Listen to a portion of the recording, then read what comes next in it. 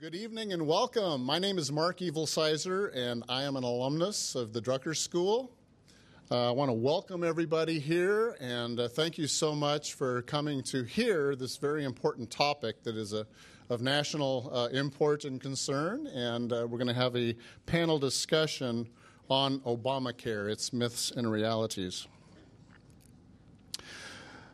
I would first uh, like to mention before we begin that this session is being recorded. So if any of you are in the Federal Witness Protection Plan, you may want to sit in the dark or leave once the question and answer session begins.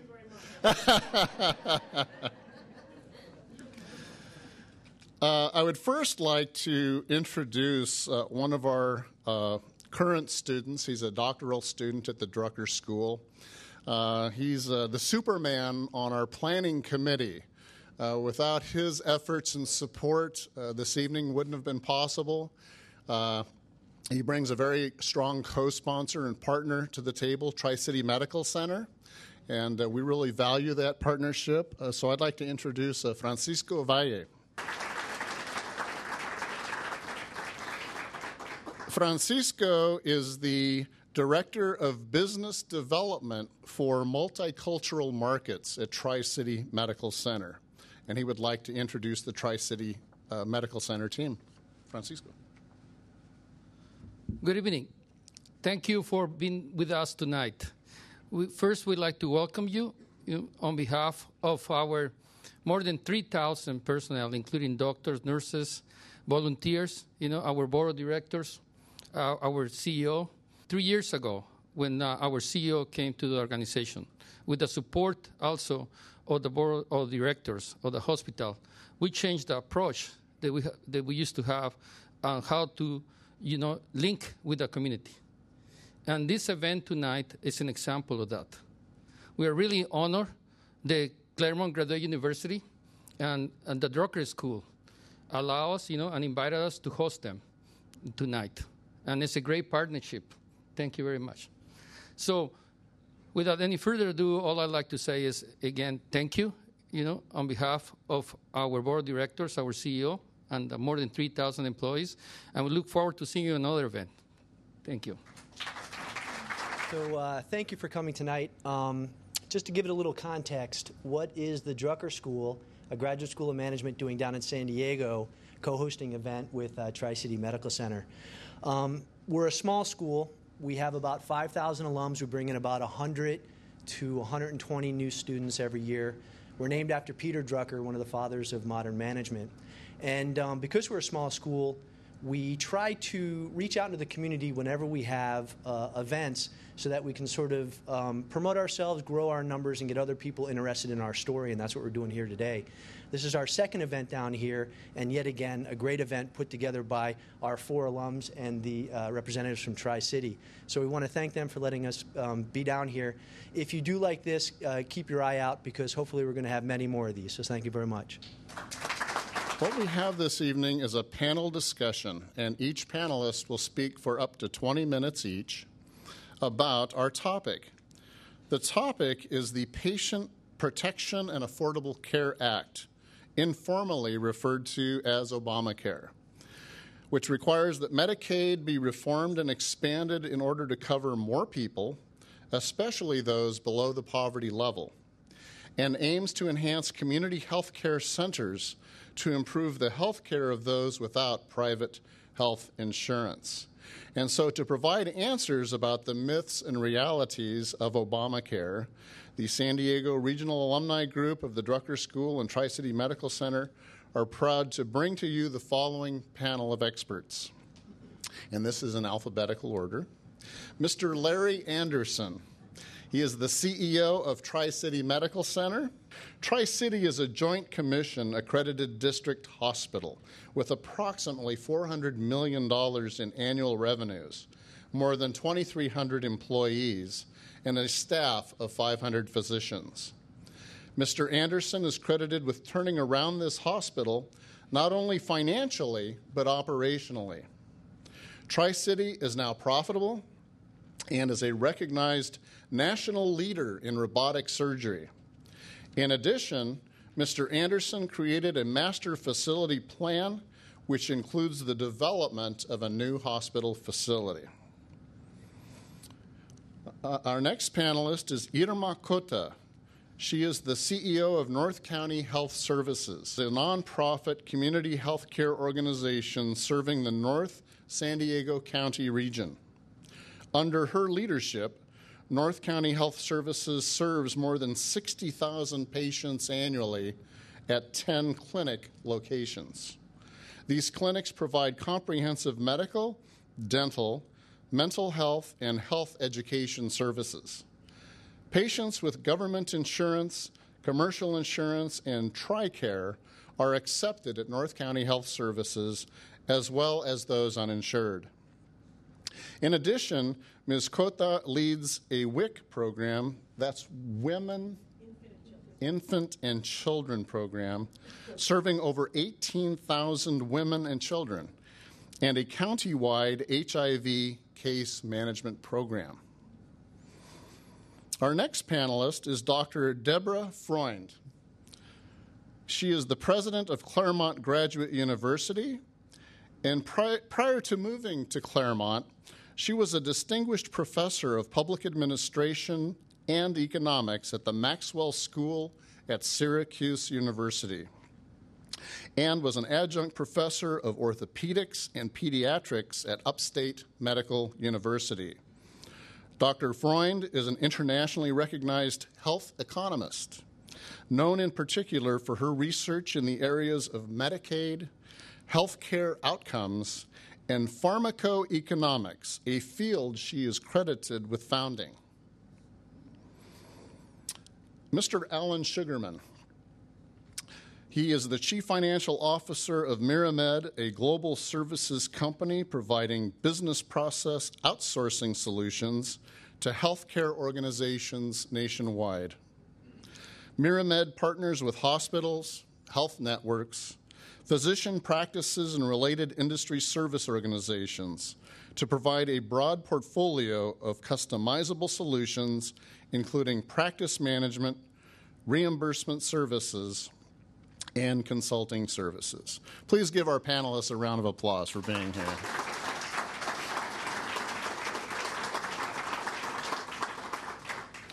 Now, after each uh, panelist uh, speaks, we will end with a uh, question and answer session. So, as uh, they're triggering thoughts, please write down your questions that you may want to ask later. So, here we go. This is Health Reform 101 with a pass fail test at the end. All right. The first couple of things you have to know to understand the whys of healthcare reform have to do with healthcare spending.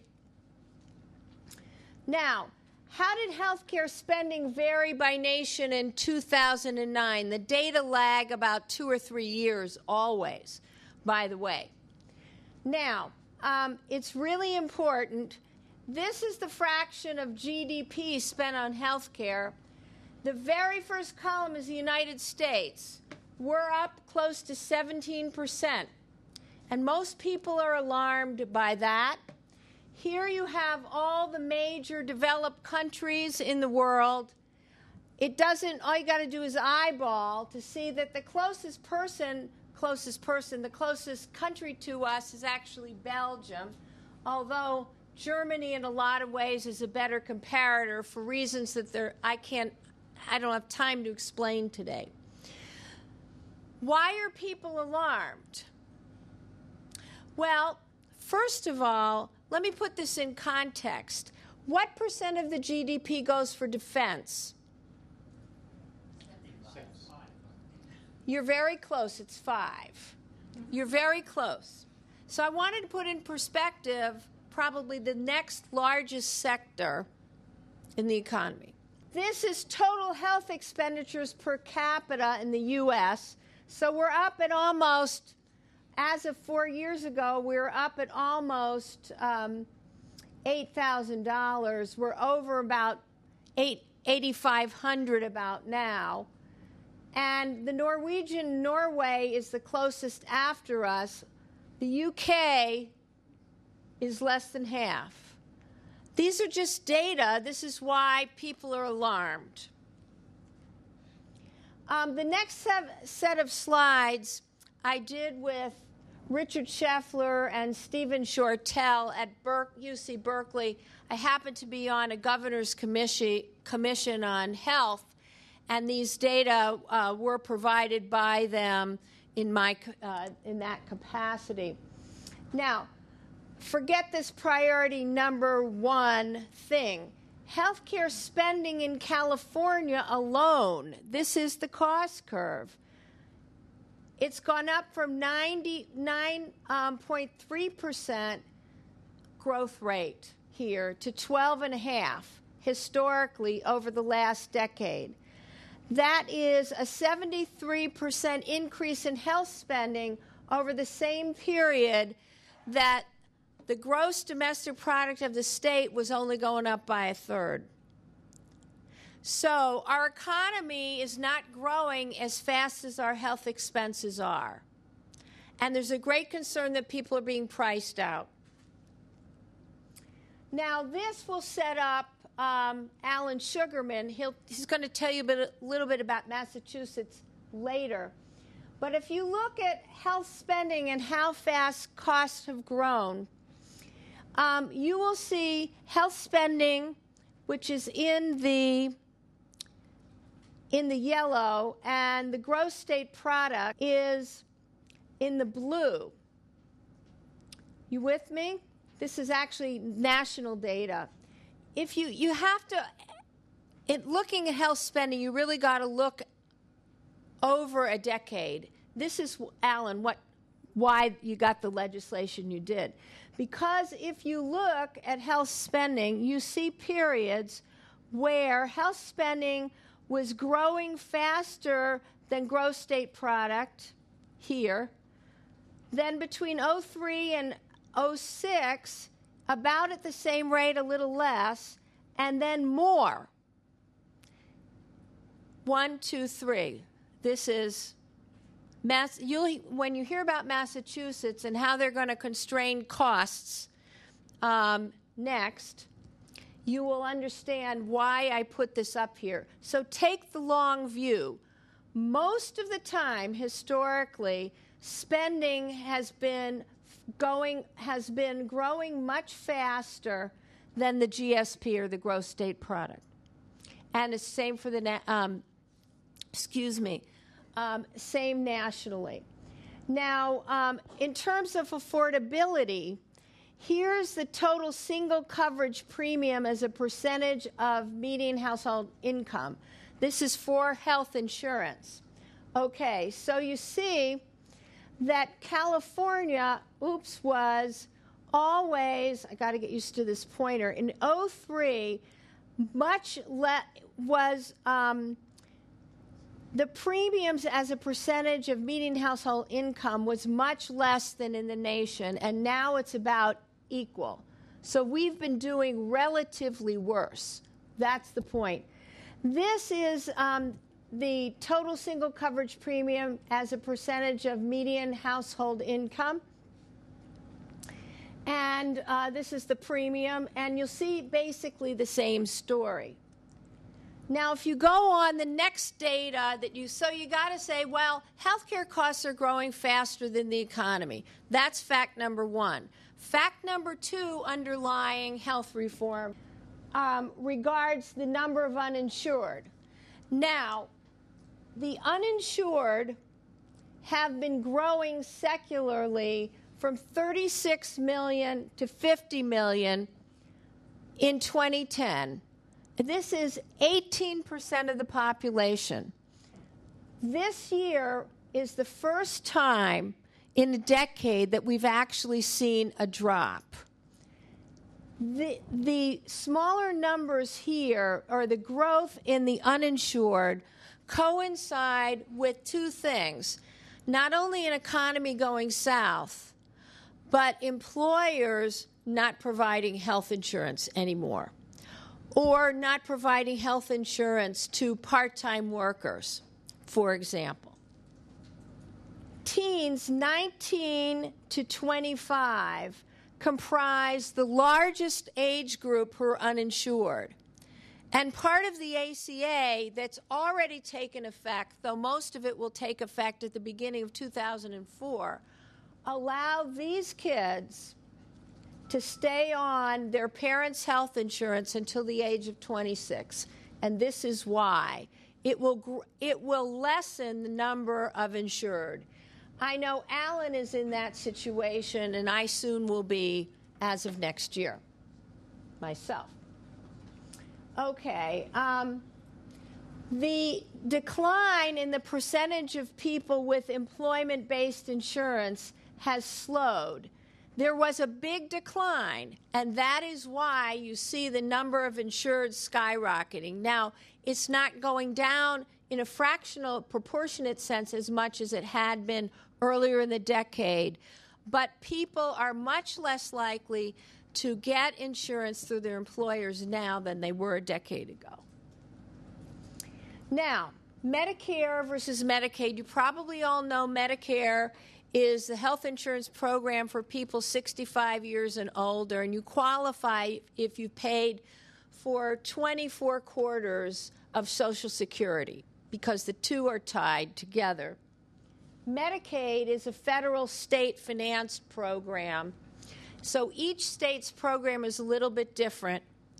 Um, the fraction that the federal government pays, okay, is indirect is proportionate to the poverty in the state. So a wealthier state like California or New York get relatively less money from the federal government than a state like Mississippi and Alabama, which get 50 percent. Now, the Affordable Care Act uh, has several major aims to expand access to health insurance coverage, to increase consumer protections, to improve prevention and wellness, improve the quality of care and the delivery system, and curb rising health care costs. All right. Access. Remember the 50 million who are uninsured? The idea behind the ACA is if you enact it, the estimates are that the number of uninsured would be decreased by 32 million people.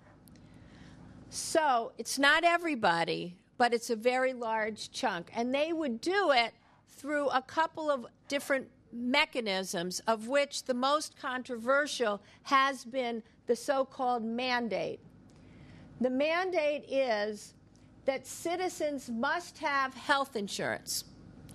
Now, individuals who aren't covered by their employers or whose employers drop it because it's too expensive because they're a small employer, or people who don't qualify for Medicaid because they make $1 more, can go to something that I'll describe later called an exchange, which is basically what I call a faux health insurance market. It is a place where, because of the law of large numbers, the state of California would open bids. There's now a whole big exchange board putting this together in this state and go and purchase health insurance. But they pay a penalty. So, anybody, the mandate is if I didn't have health insurance now, I'm required to have it. Just like if I drive a car, I'm in, required to have um, automobile insurance. Only in this case, um, it's very complicated to explain, so I won't, except to say that there are going to be subsidies for people who are less able to afford it than I would be. And that's what's supposed to make it affordable. If you don't do this and you don't obey the law, then you're going to pay a, a tax or a penalty for not having health insurance. The second thing is that employers are going to re- require, be required to cover workers or pay a penalty if you're large, which is 50 or more. If you're smaller, then your employees can go to the exchange. So, in essence, it's a mandate on employers to provide health insurance. Uh, here are the faux exchanges. We're going to expand Medicaid to cover people below 133% of the poverty level. Um, that is also controversial, and some states who, who now believe they have the freedom not to do that are talking about going up to 100% of the poverty level and hoping the federal government will pay the rest. But the idea is to take Medicaid, which is the, the federal state health insurance program for the poor, and extend it to people who are poor but not eligible now. Um, and finally, insurance plans are required to cover young adults on their parents' policies. And until this act, they every 18-year-old was kicked off. I don't know if any of you have kids who were kicked off and you were worried about it, but with a kid about to be 18, I was worried myself. Okay. Now, consumer protection, the big one is to ban pre existing condition clauses. I don't know if you all know what this is, but basically, if you want to switch from one employer provided health insurance plan because you change employers to another, if you, over the last six months, were diagnosed with cancer, you're not going to be covered under that new insurance plan for a while.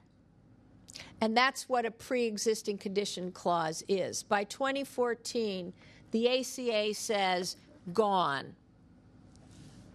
So you can't cancel coverage. That's called guarantee issue, guaranteed issue.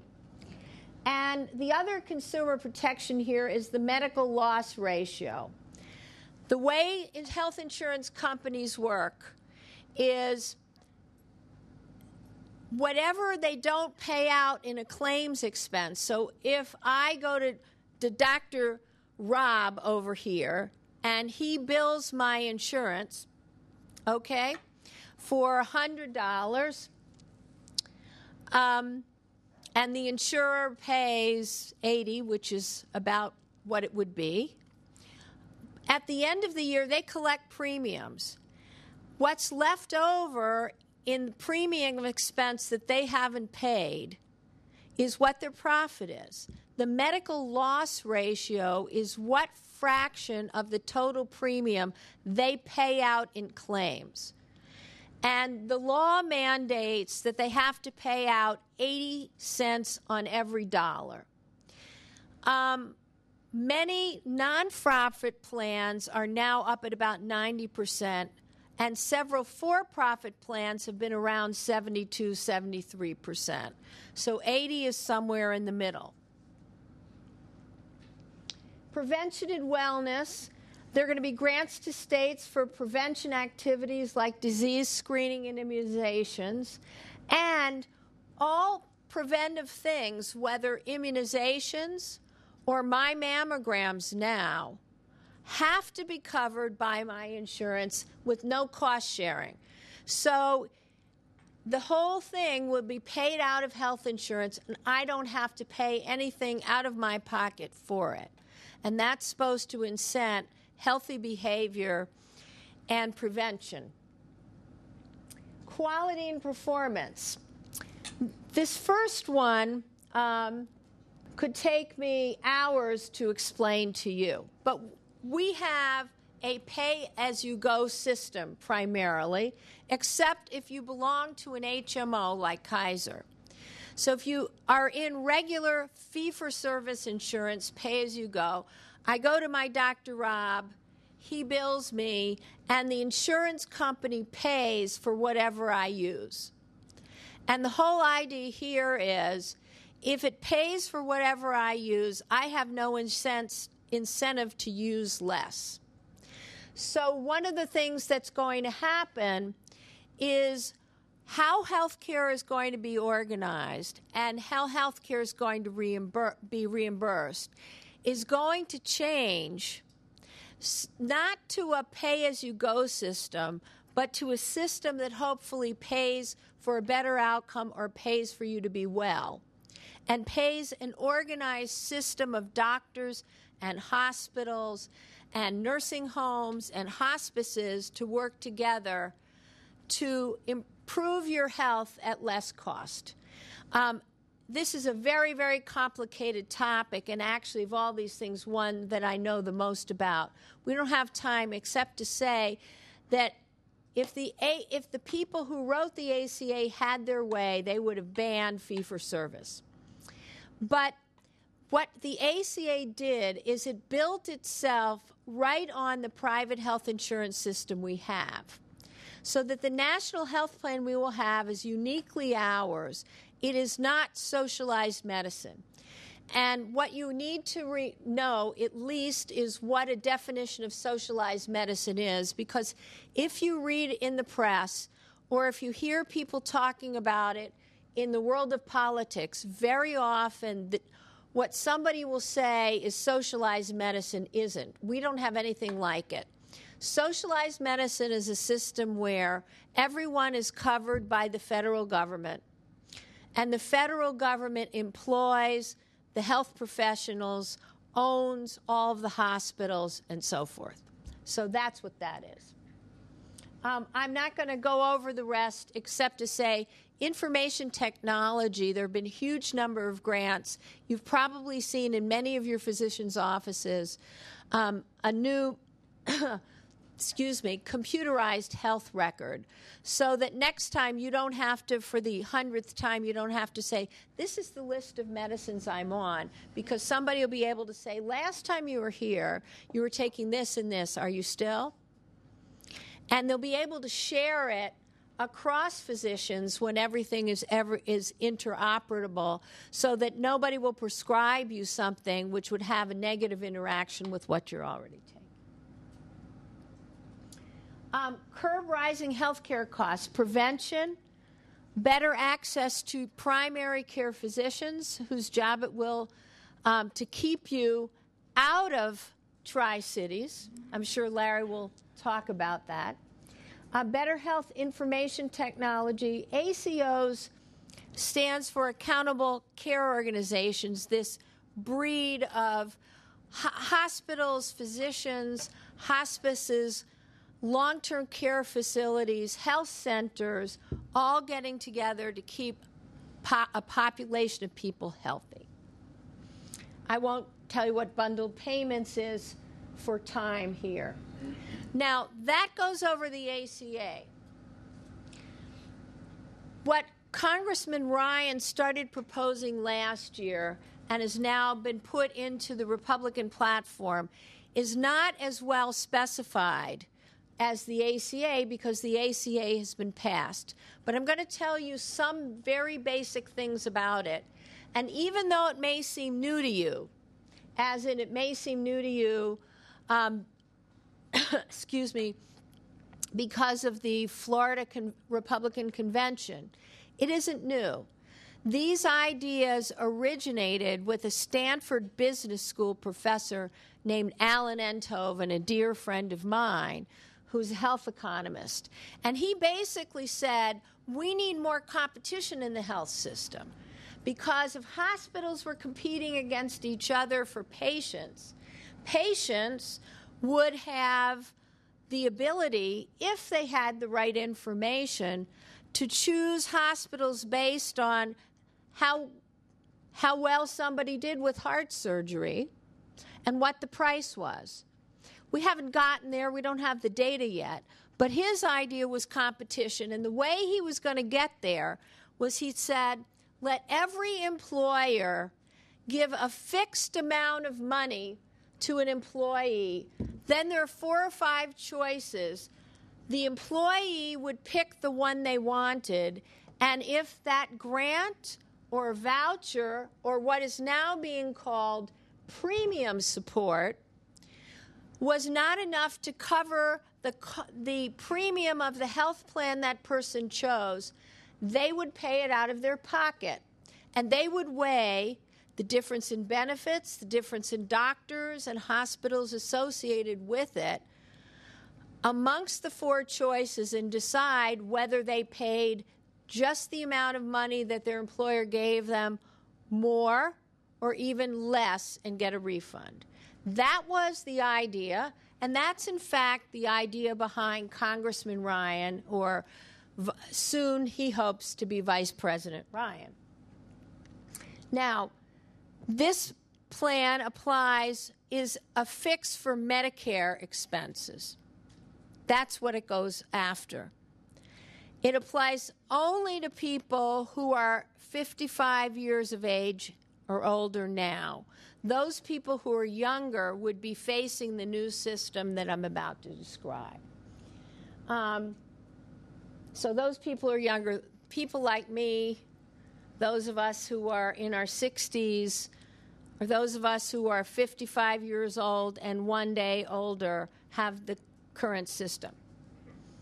Um, now, as I described, Medicare is a fee for service plan. It was came in in 1965 and it was meant to be just like private insurance was then. It's a little bit different now because private insurance has moved, but Medicare is still a fee for service pay as you go plan. He wants, Ryan wants to ignite competition, um, to have competition in the health insurance market for Medicare. So, in essence, it's privatizing Medicare where current governmental Medicare would be one option, and, me- and it would be one option, and I, with a voucher or premium support from the government, would go and pick either a private plan or regular standard Medicare as it exists now. And I would have to weigh the doctors, whatever I knew about quality, the hospital networks in choosing the plan I chose versus what it was going to cost me in premium above the premium support amount. That's basically how it would work. Um, they'd have a fixed amount of money to buy health insurance or regular Medicare. There would be a minimum benefit set, a standard benefit set that every private health insurer and Medicare would have to provide so that that would be standard. You can, of course, buy more than that, but that's what you would be comparing. Uh, the government would pay the premium support would be the amount of money it would cost any of us 55 plus a day in this room to buy the second least expensive plan. So if you wanted to buy the plan that was more expensive or more than that, then you'd pay the difference yourself. That's how it works. Um, insurers would compete by indicating how much it costs to buy their plan for the minimum set of benefits. Then I get my premium support and I choose, and in some cases, I have to pay more. Um, over time, by 2034, he would raise the age at which you would qualify for Medicare from 65 to 67. Right now, Medicare is really not a health insurance program, it's a social transfer program. All of us who basically work are taxed, and those taxes pay for Medicare. So that's why I say it's a transfer program. It isn't like you save money out of your employer's paycheck to pay for this. Okay? Um, he would cap spending at a half percentage point above the growth rate of the economy. And you're going to hear more about that from Alan because Massachusetts just legislated something like this. So, this is one way they would get cost control versus a whole lot of more complicated ways that the ACA or Obamacare plans to do that. Um, so, that's the background. I'm not going to tell you what I really think. Um, that's for another day uh, because you've heard enough from me. And I'm sorry, this is not my best lecture. I'm just a little tired today. But I'm very happy to be in Carlsbad. Who's next? All right, I'm glad to be here. I'm here as a political neutral from New Jersey. and I'm going to talk about Massachusetts, and you'll see why in a second and how it relates to Obamacare. As I said, I'm politically neutral. In 2006, Massachusetts passed health care reform. And it'll sound a little familiar. What it had in it was individual mandate for insurance. It had subsidized coverage for individuals that, under the poverty level. And it had, instead of what an insurance exchange, as Deborah called it, they called it the connector. That was 2006. And what it's achieved since 2006 is really pretty good. It's 98% of the people are insured.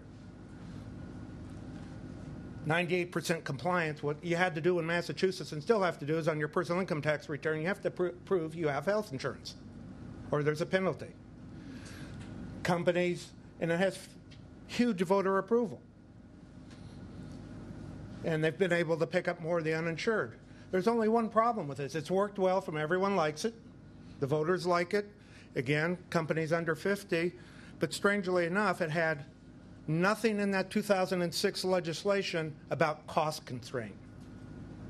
And as a result, I picked a number of populous states arbitrarily to show what happened. But here's Massachusetts, what happened. You can see from 2006, on a cost per capita, their spending's gone through the roof.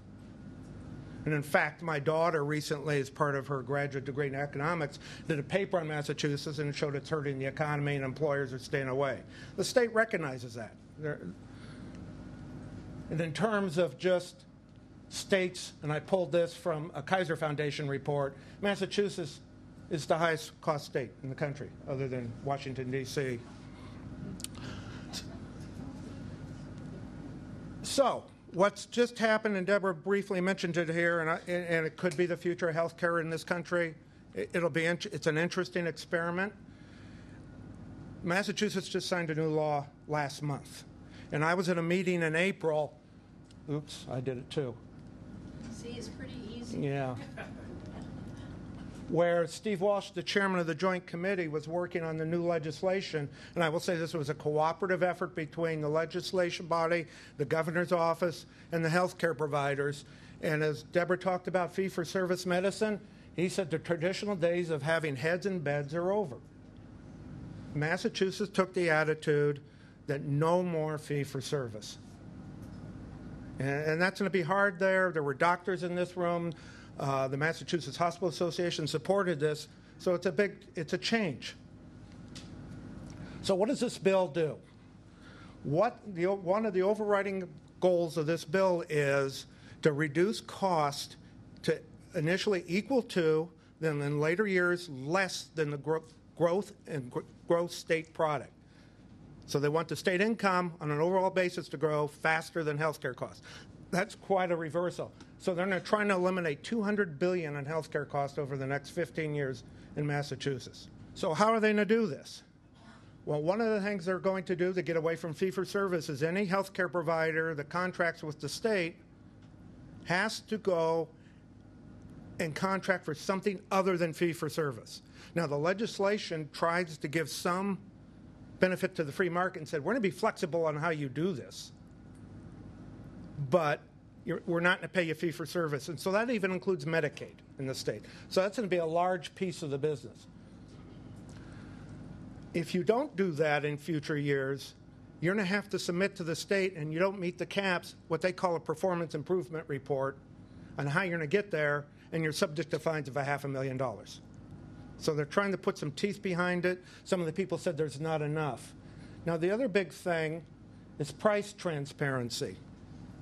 There's two issues with this, and one of the things I heard alluded to in all these conference committee reports is what they're going to do is if you're living in Massachusetts and there's a variety of big healthcare insurance companies there, and you need a CT scan and walk down the street to Harvard, and they quote you 3,000 bucks, but two blocks away you can get it from Tufts for 1500 They want you as a patient to have instant access to that information and make the decision. The other big piece of the puzzle, which is not overtly stated, Boston, as some of you might know, the academic medical centers reign supreme. You've got Mass General and a number of others. There's been recent reports that they are far higher priced at average quality compared to the community hospitals. So it's controversial, but it's out there. So that's what this price, price transparency is about. Now, the other part of it I didn't put in there is the state's establishing a separate commission, the states like to have their bureaucracies, that is going to review all new contracts between insurance companies and hospitals. And if there's too much of a rate increase, the state reserves the right to intervene. So there's a lot going on there. Health information exchange, I'll talk on in a minute. Again, as Deborah talked about, the state thinks they have a huge problem with wellness, obesity rates, and they've established some programs, they're going to fund some programs to address it. And they're, they're going to kick some money into it and hopefully address it. Okay, uh, health insurance exchange. This is going on in a number of states where there is a central, if you will, information technology hub, a computer system where hospitals, physician offices, your laboratories can all exchange information and share it so that when you show up, for example, in an emergency room with a heart attack, whatever, they can plug into this and know your hi- medical history and know what's going on. All various states are trying to fund it. This is mandated in the new reform law in Massachusetts. And to show the, the I guess, the emphasis behind it, if you will, the federal government, for the first time, is kicking in $17 million to Massachusetts to help make it work. Now it's underway, and one of the things that's in the health reform law is it's mandated that every healthcare provider in the state participate in this. It's not a voluntary thing. For I I was serving there and consulting for a while with a anatomical pathology lab. They help diagnose samples for uh, skin cancer, breast cancer, that type of thing. Even they have to participate. So it, it's going to be a multi-year effort, but what, the state is committed to getting to where there's transparency in the system and there's information available to all. Now, you might think it might, all this legal and the reform law, which everyone's known is coming for the last year and a half, might constrain activity, business activity. So I thought I'd throw up one quick slide. Cerberus, who, as you might know, is one of the largest private equity firms in the country. They, in the last year, have bought 10 not for profit hospitals in Massachusetts. They are the third largest employer in the state now and continuing to grow. And their business model is to disrupt the business model of the academic medical centers. It's interesting. We'll see if it works, but that's their stated that's their stated mission. S, uh, Standard & Poor's, who rates hospitals and, and rates bond issues that hospitals issue to find them, now fund themselves, has come out and said, well, we're not going to say anything, but this law could pressure credit quality among the not-for-profit hospitals. So they're aware of it. And another activity, two of the largest physician groups in the state have decided to come together and merge into a group of 1,000 physicians so they can compete in the marketplace. Because in Massachusetts, you have two or three very large healthcare plans that dominate the state, and these physicians want to try and compete. So, in essence, it's, it's a very interesting experiment. It's just started. People are, it'll be fascinating to see what happens. Some people are talking about is it the future of healthcare in the United States? And in fact, Forbes magazine recently stated that is this the future of this country? As I say, I'm neutral on it. It'll be interesting to see what happens. But this, all the state healthcare providers are preparing for it. Okay, so I guess I should be agnostic too. Is that okay? Um, uh, that's that's very helpful information. Uh, what I intend to present, oh, it's already up there. See if I can work the clicker. Good. Uh, is the employer's perspective because I'm first and foremost uh, a large employer, uh, also, a healthcare provider. But I think there's uh, there's some important uh, facts about Obamacare that we need to know, and we call this myth and reality. So I'm not sure if you guys are the myth, but I'm definitely going to be the reality. so um, let's jump right in. A lot of this I'm going to be able to skip over. So I'll preface it by saying I have 41 slides. However, I'm going to list them on uh, tricitymed.org, our website, so that anyone who wants to go there and look them up. What I've tried to compile here is really everything I think you need to know about Obamacare because nobody's mentioned yet, but the legislation is somewhere around 2,000 pages. It was, I heard it was 2,400 pages. That's the version I looked at, but it depends on what font size you use uh, and whether you double space it or single space it. Some people say it's only 1,800 pages, and the one thing I know for sure is Nancy Pelosi never read it because she said that after she passed it. so we know that. Uh, all right, so we're going to talk about Obamacare. I'm going to talk about uh, the mandates, uh, some of the timelines and requirements. Nobody's mentioned the Supreme Court ruling, which is sort of a non issue, but I think it's worth uh, noting and, uh, and then give you some conclusions. But in the process of that, what I'm going to specifically mention, and the thing that's most important about my presentation, is I'm going to talk about what what uh, Obamacare is going to do to the cost of health care for my 2,300 employees at Tri City Medical Center. So you can then extrapolate that to your uh, your company uh, or anyone else's company uh, based on its size and the design of its plan. A lot of this information, uh, Deborah and Alan already went over. We got a lot of uninsured people. The costs uh, of Medicare are very erratic across the country. Uh, in some places, um, El Paso, for instance, the average Medicare beneficiary is getting $7,500. In McAllen, Texas, uh, 15000 So there's really no question, I think, in anyone's mind that our system is broken and needs repair. That, that I think we all can agree on. Um, this slide isn't quite uh, organized correctly. This is why I said uh, defense costs were 6% because I was looking at 1960 and you were looking at 2007. So good call, Deborah. But you can see that healthcare costs have skyrocketed in comparison to both education and defense. And this is a slide, a version of uh, which um, Deborah showed as well to show that the costs in the United States are out of control in comparison to the rest. This uses the Organization for Economic Cooperation and Development, and you can see that we're uh, by far the highest. Uh, now, it, with regard to the specific provisions, and uh, the provisions I really want to talk about are the taxes because we all hear it's a tax. Justice Roberts said it's really a tax. What he meant was the penalty portion of it is a tax. But what he didn't say, and what needs to be said, is that embedded in Obamacare are dozens of taxes, all of which are already affecting us. Uh, and so I'm going to highlight some of those. Uh, this is just a quick uh, summary of the financing components of it, of Obamacare, and I won't go through all of it, but you can see there are provider taxes, there's uh, health savings account distribution changes, Medicare Advantage plan changes. Many of these have already taken effect, some of them have not.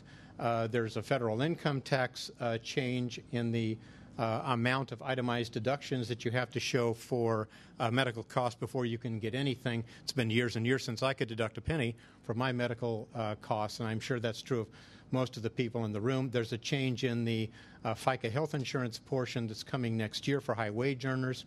Uh, there's a change uh, in Medicare DSH payments, which is going to be very important for hospitals. Uh, one of the concepts that I see in Obamacare is, notwithstanding the fact that there's many changes going on for hospitals, I think hospitals are going to survive uh, relatively intact. In other words, there's there's some benefits because we're going to get paid for people who used to show up at our emergency room and get care for free. Uh, but those uh, benefits are going to be offset by a lot of the cuts. Uh, for instance, they're going to disallow payments for readmissions and so on. But I think that'll balance out, and hospitals will be generally okay. I think everyone else is not okay. Uh, I think uh, patients are going to be hurt by the law. I think uh, um, taxpayers obviously are going to be hurt, but I think hospitals are probably going to survive. Physicians are really going to be hurt. And my biggest concern about the implementation of this law, when all is said and done, is access to care. That is, whether or not I'm going to be able to get care, whether you're going to be able to get care. Because right now, uh, if you just want a routine cardiology examination in our area here in North County, you'll wait two months. If you get it in six weeks, you're lucky. It's probably two months. I think this could double or triple the waiting time to get in to uh, see a doctor. There's also a tax on Cadillac plans. Uh, that's not going to affect uh, anybody in this room, I'm sure. Uh, we all have just the routine HMOs, I know. Uh, this is the individual mandate. and it's graduated. It starts at uh, 1% of adjusted gross income and uh, elevates to 2.5% of adjusted gross income. Uh, and this is the penalty that was declared uh, by the Supreme Court, approved by the Supreme Court, uh, but uh, identified as authorized only under Congress's uh, taxing authority, not under the Commerce Clause. So, uh, large employers, as Deborah said, uh, will uh, wind up paying the penalty. And this is the definition of large employers. It's uh, 50 or more, and there's uh, gradations of that, uh, different rules for employers over 100. And this is called the play or pay mandate. So uh, the employer mandates can go up to $3,000. They start at 2,000 and get graduated uh, depending on uh, the wealth of your employees. They use an average wealth four times the federal poverty level. Employees are also required to uh, employers are also required to offer free choice vouchers to certain low income employees. And I won't define what that is, but you can you can look it up on our website. So the bottom line is uh, know your numbers. I'm talking to employers now. Uh, know your numbers because the implications of healthcare reform are going to be far reaching in many areas for uh, cost, obviously, for talent management, and productivity. So you need to pay attention to uh, how the law will affect your individual company. There are small business tax credits, these are already in effect. Uh, and you can get a credit uh, of as much as 35% of the employer's contribution uh, for the purchase of uh, qual- uh, for qualified small employers for the for the uh, cost of your plan, and that's going to go up in future years. You can get a credit of 50% Uh, in 2014 and beyond, as high as 50%. There are changes to the healthcare flexible uh, savings accounts, uh, which used to have no limit and now we'll have a limit of a maximum of $2,500. I know I'm going over this quickly, but I want to give Irma a chance also to talk and then to take questions. Uh, and I'm not even to the most important point I want to make. Uh, itemized deductions for medical expenses, as I said, are going to go up from 7.5% of adjusted gross to uh, 10%. That happens in 2016. Um, this, this provision limits deductibility of executive compensation for insurance providers. It's fairly esoteric, but what it does is it changes the amount that an employer can deduct from their taxes uh, to 500,000 per taxable year. Uh, normally, that would be uh, that uh, there would be allowed a million dollars uh, of deduction. Uh, there's a change in Medicare Part D. Uh, the Act eliminates the federal income tax deduction for the 28% uh, subsidy for employers who maintain prescription drug plans.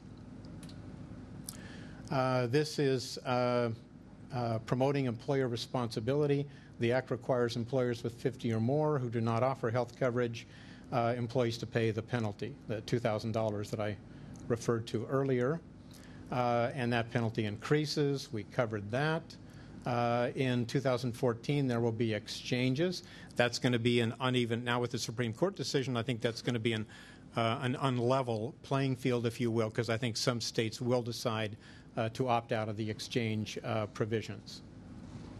Uh, there is um, uh, an incentive for wellness programs. I think that's a positive. There's a lot of positives in the in the law, and I think this is one of them where they will actually allow uh, employers to offer incentive plans and give them uh, tax benefits for for that for the wellness program efforts. Uh, this is what's called the Cadillac plan, excise tax for very rich plans, uh, and those those are plans which uh, which cost ten thousand two hundred dollars for a self only, or twenty seven five for a family, and it uh, provides a, a, penalty or a, an additional tax on top of that. Uh, and then other considerations. Um, uh, the Act provides that health coverage offered under a collective bargaining agreement. This is uh, obviously a union driven provision in the plan. Uh, it grandfathers collective bargaining agreements. Um, so some people, uh, some uh, companies will benefit from that. This is the this is the heart of what I wanted to present. I took Tri City Medical Center's healthcare costs which are now in the area of $14 million a year. So we're a kind of a typical large employer. Uh, and I, I prepared this summary of what the cost increases are going to be for us with regard to how Obamacare looks now. And uh, you really only need to focus. Let's see if I can find this pointer thing. There it is. Uh, this is the this is the most important column here because this is exactly what is going to happen to us.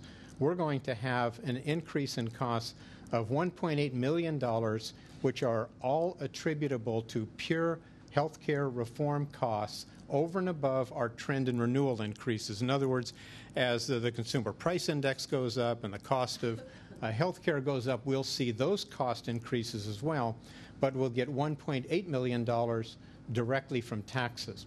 And that will be due uh, to additional enrollments, and I'll talk about that in a minute, and additional benefits that are provided for and are mandatory uh, in the law, and, and a tax effect as well.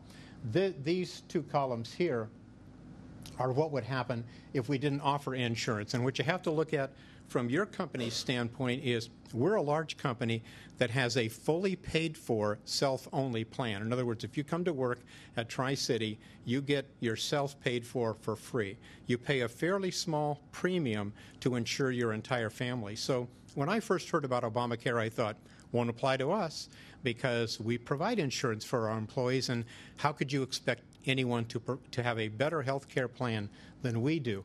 But if you actually read all the fine print in the 2,400 or so pages, you find there's all kinds of nonsense going on in terms of what the additional costs will actually be. So this, these next couple of slides are important because they break down what those costs are. First of all, you have the individual mandate, which requires everyone to have insurance, virtually everyone, or risk a penalty.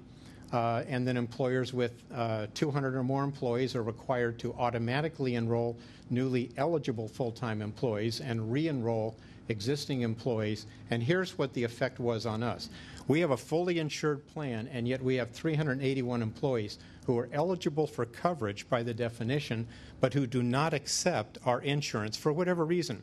Now, most of those people have coverage elsewhere, so you have a dual income family and they're insured somewhere else. But not everyone is in that category. Some people don't accept the plan because they can't afford it, because even though we offer self for free, let's say they need to insure their family, and we have a variety, quite a wide cross section of wage earners. We have nurses, 750 nurses.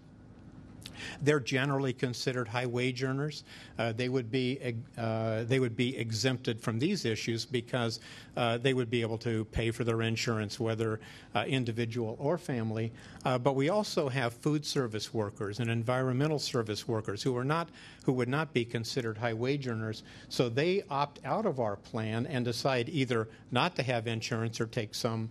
Uh, minimal form of insurance. So we're estimating, and we're doing this very conservatively, that 25% of our eligible employees will join some, uh, either through the exchange or some other method, will become insured. And the cost to us of that is $1.2 million. If 50% join the plan, the cost is 2.36. 75% join the plan, the cost is 3.55, and so on. So we're, for the purpose of this uh, exercise, I'm saying that tw- just 25% of our eligible 381 employees decide to go into the exchange and we have to pay for them. The cost of that is 1.2 million. Uh, so, uh, in addition, uh, as Deborah mentioned correctly, uh, we've got a cost for some provisions that are already underway, uh, which is that there's mandatory coverage for, for women's health services, uh, mammograms, and so on. And the cost to us in 2014 will be 85,000 for that. And then there's coverage for obesity screening and counseling for adults, and the cost to us will be 425,000 in 2014. So when you take all of these costs and aggregate them together, you can see here in 2013, the year we're just about to enter, we're going to pay uh, almost $500,000 just for programs that are mandated by the law that are already now in effect, uh, and that's going to further drive up our cost. And then you have consumer taxes, and these hit also in 2013. Uh, they're taxes that are incurred in 2012, uh, but we'll, we will actually wind up paying in 2013. Uh, and I see Deborah nodding her head, so I've got these things right. And this is a, a dollar for every covered life, Uh, later, it increases to $2 for every covered life. And then you've probably read in the newspaper from April, I think it was, of 2010 when Obamacare was passed. There's an additional tax on medical device makers. Now, you don't pay that. None of you pay these taxes on medical device makers, but actually you are paying them. Because if you're like we are, your premiums escalated very quickly in 2010. I know a number of employers in, in North County uh, came to me and said our costs are increasing 20% in 2010. And there was another double digit increase in 2011. This is why that happened. Because there are taxes on medical device makers, uh, 2.3%. Uh, there's a tax on pharmaceutical manufacturers, uh, which rises to 4.2 billion nationwide by 2018, 3 billion in 2014. There's taxes on health insurance providers. As their costs go up, they raise their prices, and our costs go up as well. Uh, and then uh, in 2014, states are required to establish the transitional nonprofit reinsurance entities. That's, or, that's not the exchanges, that's a reinsurance uh, backup plan, if you will, for the exchanges. And that all costs money. Just a mere uh, 12 billion and then uh, lowering to 8 billion and then 5 billion. But you start, you know, a billion here, a billion there. Eventually you got a lot of money. So this is what it does to Tri City Medical Center. Uh, we've been controlling our costs very well. I said 14 million. Uh, this shows 15 million in 2012, the year we're in now, rising to 16 million in 2013, and that's mostly that tax I was talking about, that one dollar rising to two dollars, and then the health health exchanges kick in, and we start having to insure people, and you can see what happens by 2018. Our costs uh, are up, not quite doubled, but they're up substantially, and this is an employer uh, who provides an excellent health insurance plan for their employees, full coverage for all of our employees for self only. And this is what Obamacare does to us. Based on our best projection, this has been vetted through two different insurance companies, and they have said, absolutely, that's where you're going to be. Now, we'll be struggling to keep these costs down, but uh, this is going to hurt. So now there's a series of slides here that I uh, will attribute to a law firm called Manatt Phelps. I'm going to let you see these uh, for yourselves, uh, but they have a very good summary of how the whole exchange process is going to uh, roll up, and you should go on our website and see it. Uh, they actually did this in a, uh, a conference call with hospitals across the country, so I'm sure they don't mind if I share it because that was the whole purpose of putting it out in public view. So there's uh, a bunch of slides here that basically uh, show you the cost. Now, this is an interesting thing here because this is a law firm, Manatt Phelps, who took the law, the 2,400 pages, dissected it, analyzed the Supreme Court case, and then said, here's the cost.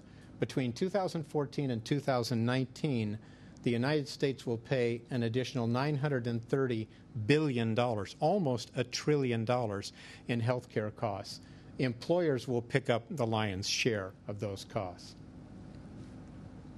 And then uh, this, this talks about uh, uh, California and what's going to happen to California. How many people will be additionally insured? You have 1.6 million uh, on Medi-Cal. Another 2.1 million will fall into the exchanges. So 3.7 million additional insured. Again, I'm going to attribute this to uh, the law firm Manatt Phelps. Uh, and then I'm going to let you go through the rest of the slides yourself. Um, essentially, what it says is this is not free. It's, there's no free lunch in, in Obamacare. Uh, this is a Supreme Court decision, and you all remember uh, Justice Roberts' famous uh, pronouncement that uh, this uh, the penalty was not actually a penalty; it's a tax, and and therefore it's it's legal. Um, the only section that he that the Supreme Court overruled was that states can choose not to expand the Medicaid to cover all state residents uh, under 133% of the federal poverty level without risking federal funding for the entire Medicaid program because Justice Roberts concluded uh, that this was uh, not relatively mild encouragement, but rather a gun to the head. So uh, I'm going to let you go through the rest of this stuff, which is all produced by Manhattan, is good information. Uh, but what it basically tells you is that uh, this is going to be uh, fairly expensive. So I'm going to flip through these. Uh, and so the bottom line is you need to know your own company, you need to know what your plan is, you need to know what you're going to have to pay for. Uh, you need to read the regulations because we are, Tri City has become and has been approved to be one of the 106 accountable care organizations in the country. Out of over 5,000 hospitals, we've created an ACO, which I'm very excited about. It's going to allow us uh, a lot of uh, interesting opportunities. But the ACO portion of the statute was 20 pages, and the regulations implementing ACOs was 500 pages. So you can take the more than 2,000 pages of Obamacare and extrapolate from that the regulations that we're going to see that haven't even been written yet, uh, and imagine what regulation we're facing in the future.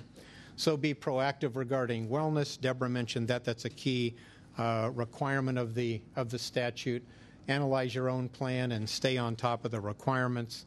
And uh, here's a bibliography in case you have nothing to do at night and uh, are interested in reading. Thank you.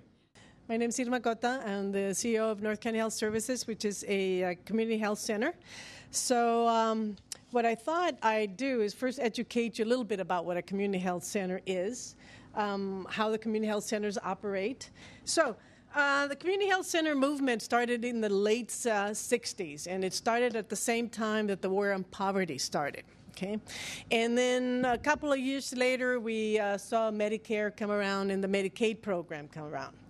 So, um, as you can imagine, if you were at that time, if this was happening, this discussion right now was happening in the late 60s, we would also be very concerned about the, this Medicare program people are talking about and this Medicaid program people are talking about. Okay, so why were community health centers um, established, and why did Congress uh, made a move to begin to fund community health centers? Is because they found that while um, a lot of poor individuals were having access to a Medicaid program and a Medicare program, um, they were finding that there were not enough providers accepting those two plans.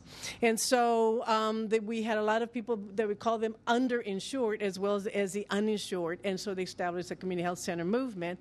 Um, t- today, uh, 45 years later, um, there's a, 1,800 uh, health centers throughout the country serving almost 20 million people. In North County Health Services is one of those 1,800. Um, and the impetus um, about this program um, is really the those that have government insurance, but but also the working poor who do not have health insurance. And the majority of the people in the health center are really under the 200% of poverty. So in today's dollars, for a family of four, that's about $24,000. Uh, whether it's in California, whether you live in Texas, whether you live in Mississippi, the poverty level in terms of income is, is the same. So obviously the dollars go a little further if you live in, in, an, in another state.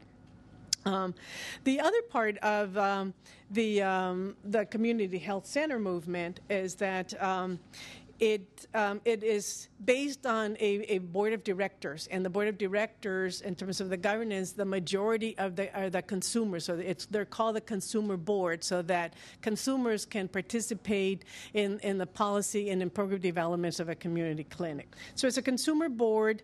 Um, and the the qualifications for a health center uh, is that you have to provide regular reports to the federal government. It, it's under the the health administration and under the Bureau of Pri- uh, Primary Care. Um, within um, the uh, reports that we have to submit, we have to also meet certain uh, quality metrics. We have to be licensed by the state. Um, here is licensed by the state of California. You have to be open to inspections. Uh, private doctors, medical groups, they don't don't have to be subject to that type of licensing and, and inspection. Um, in terms of the community clinic movement, under the Federal Office of Management and, and Budget, we're considered one of the top 10 um, programs that the government uh, runs or helps operate.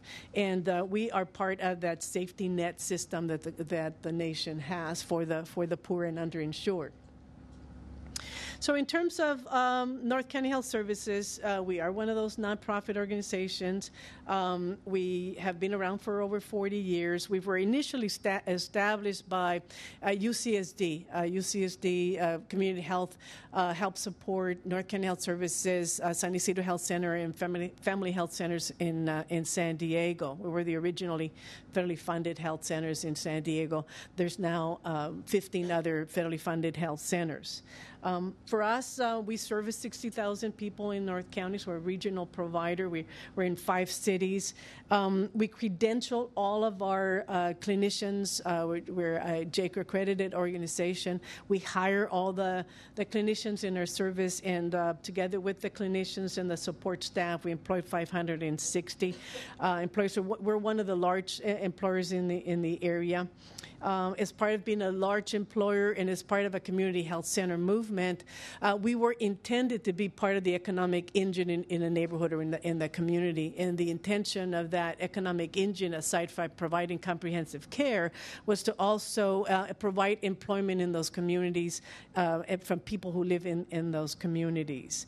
Um, so we, um, our clinicians maintain privileges at at three different uh, hospitals in, in the region.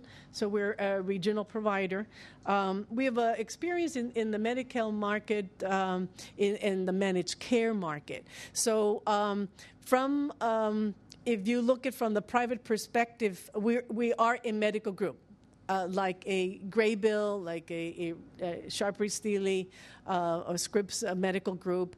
Uh, some people know it as, as independent private practices or IPAs. So basically, all of the clinicians are employed. We we have um, uh, common protocols, uh, common uh, directives, um, and so we have a, a, common system. So the only difference between uh, North County Health Services is that it's a nonprofit and has a, govern, a governing board compared to the, the private sector.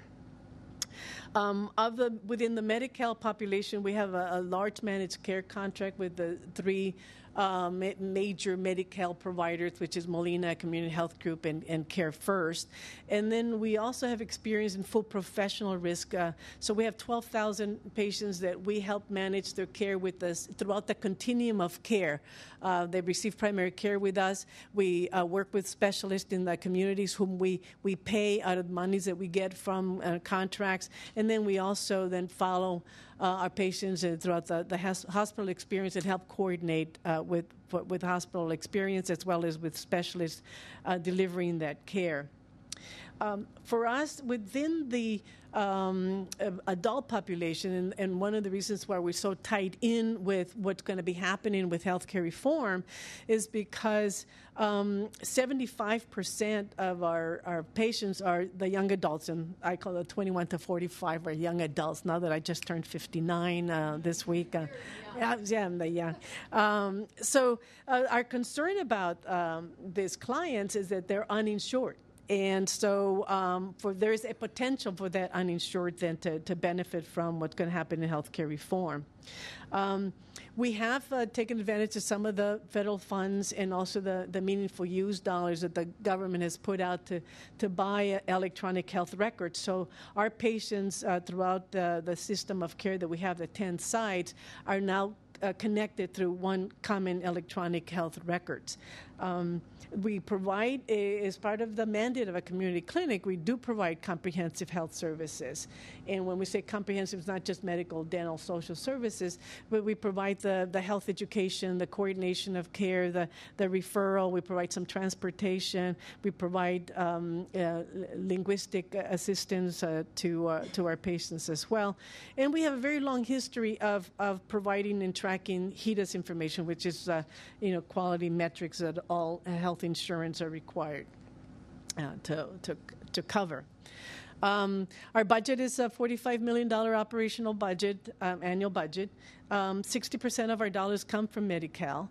Um, 11% of the dollars come from self-pay patients, but they represent, you know, 30% of the visits. That's about 93,000 visits a year that is paid by um, the self-pay uninsured. 10% comes from the federal uh, government. The, the, those dollars are, is what allows us to provide a sliding scale. 50% for dental care, and then 75% discount or 50% discount on the on the clinical side. Um, 6% is healthy families, which is a misnomer. Is really children under 19. Uh, and then 7% comes from the, the number of grants that allows us to do what we do for for their patients, such as the WIC nutrition program, the HIV program, you know, family planning, and also health care for the homeless. So, what about um, healthcare reform? Healthcare reform, uh, the accountable care uh, services that we, have been discussing. Um, the um, the, the really the at the core of reform, and you've seen the data. It's really about cost containment. Uh, it's really about improving the quality of care, and it's also about engagement, patient engagement. Um, the, I think that the public in general has felt disenfranchised from their own care um, because they, they don't always understand what's going on. They don't always understand the, the, the lingo that, the doctors are talking about or their specialists. So, at, at the core of, again, of, of accountable care is that patient engagement. Um, so, for us, um, we really look at an opportunity that we can really have an impactful role in healthcare reform uh, because we can build on what we already have that we've been providing over the years, and we can build on the experience of taking care of the uninsured.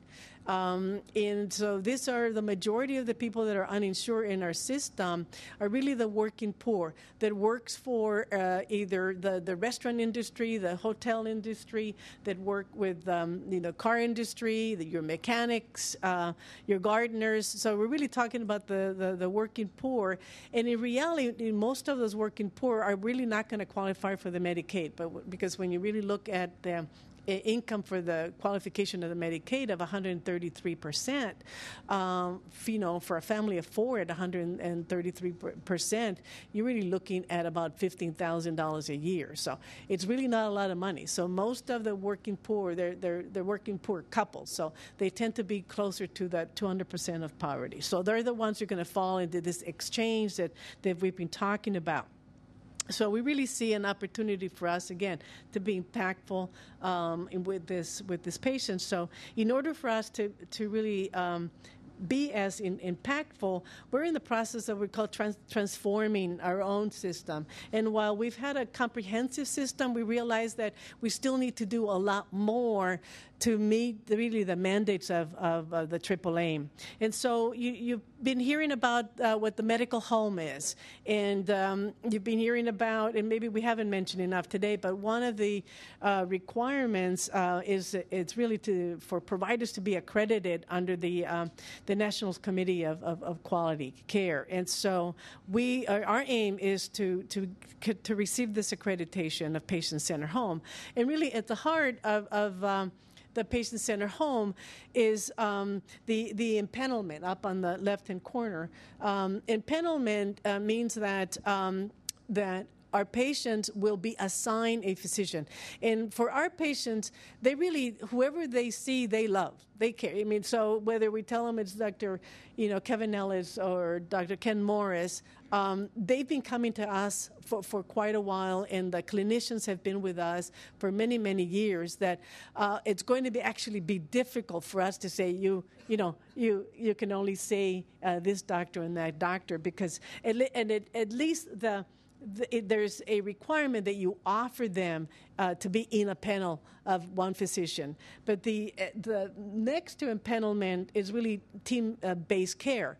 And in team based care, um, so it's not just empanelment, but the patient will have access to uh, maybe a nurse practitioner is working with that doctor. They'll have access to a health educator, uh, to a nurse. They'll have access to even to someone to, to, do you know home visits if that's what the client requires. So when they, they call in and they want to speak to the doctor and the doctor's not available, the individuals that have been assigned to that patient, that team, uh, will know that case very well and will be able to to help that client and maybe even uh, avoid an office visit So, in terms of saving, yes, there's going to be a lot of other costs, but there's also going to be opportunities by restructuring how you do and repositioning your assets, your your your most uh, valuable asset, which is your personnel, reposition them in such a way that you can be more efficient and impactful in the kind of care that you provide. Another requirement is open access. And um, we're very excited about open access because we're already making uh, headways in that, and that is to um, be able to give people a, a same day appointment. And um, the, the culture of people um, who um, are um, the uninsured oftentimes is to just walk in. Oh, I have, I, my boss says I, I don't have to work eight hours today. I've been meaning to go to the doctor. I'm going to go to the doctor. Or uh, I'm off a little earlier. My child's been running a cold. I'm going to go to the, to the doctor. So we have been uh, running some experiments in our clinics to educate our patients to call us when they're going to come in and educate them to call us when they're not going to come in. And it's been amazing how um, welcoming people have been in terms of us engaging them to help us uh, be able to be more accessible to them. So, open access is again transforming our system, and we're very happy to do it. And we're we're seeing the patient satisfaction go up, which is another aspect about um, a patient-centered home.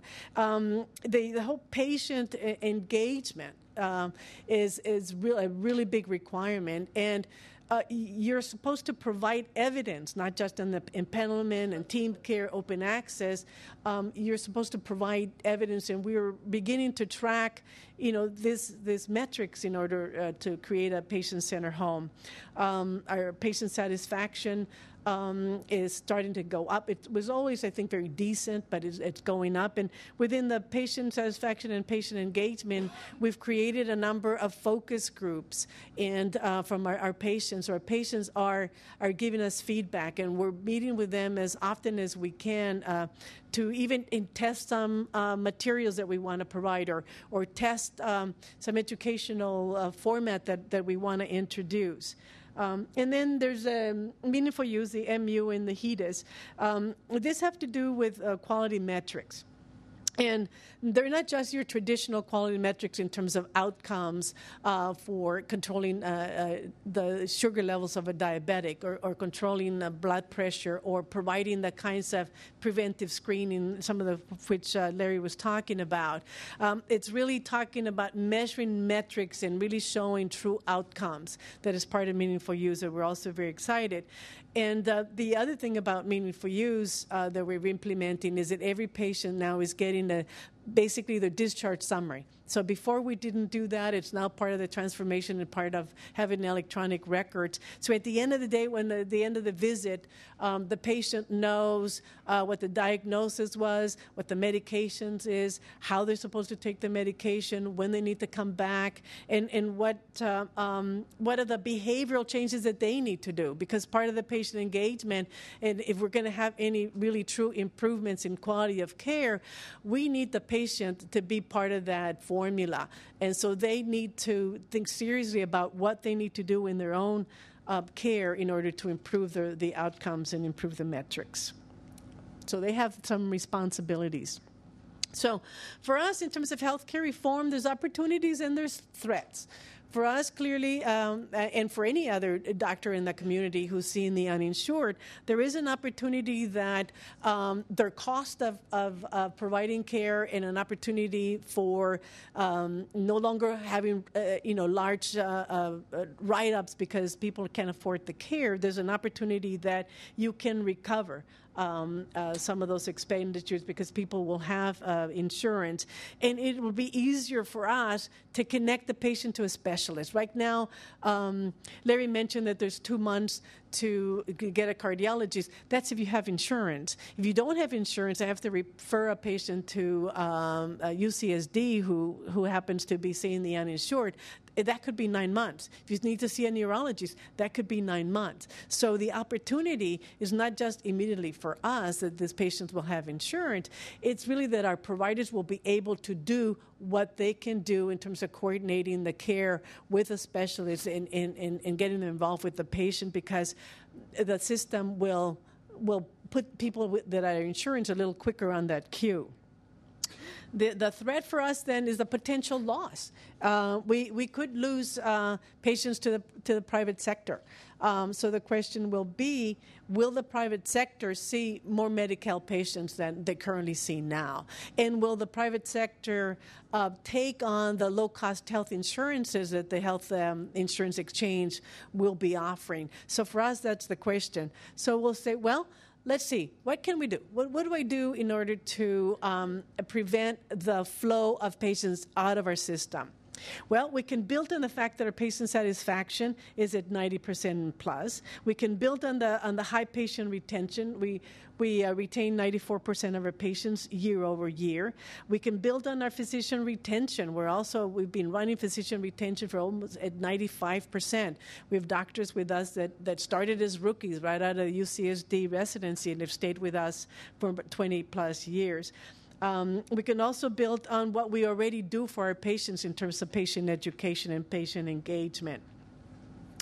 In terms of responding to the threats, uh, we're really working on that. We've we've joined um, uh, an, an IP, we've joined actually two IPAs um, so that we can have access to the commercial market and people in the commercial market can choose us. And as those IPAs later on enter into uh, low cost health insurances with the health plans, um, then we will be part of that network of care that people can be referred to us.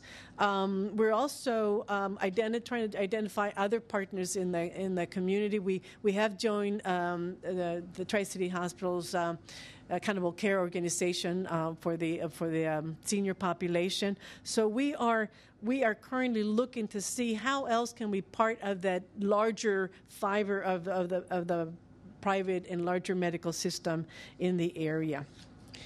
Um, and then uh, what? So our value. What, kind of value do we bring to, to the partners that we will be doing business with?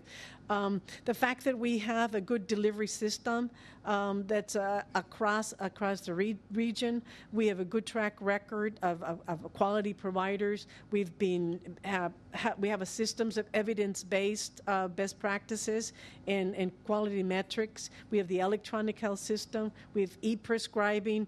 We uh, have contracts now with, with Walmart, um, with uh, Walgreens, and we're, we're trying to do a contract with CVS so that we can also um, coordinate the, the prescription and, and, and medication delivery to our clients. Uh, we have extended hours, and we, we expect to extend more hours. And if we can increase the geographic presence of opening other health centers, we will do that. Um, we're also modernizing our buildings so that you know people won't come into a clinic and say, "Oh my God, am I in the Greyhound bus or where am I?"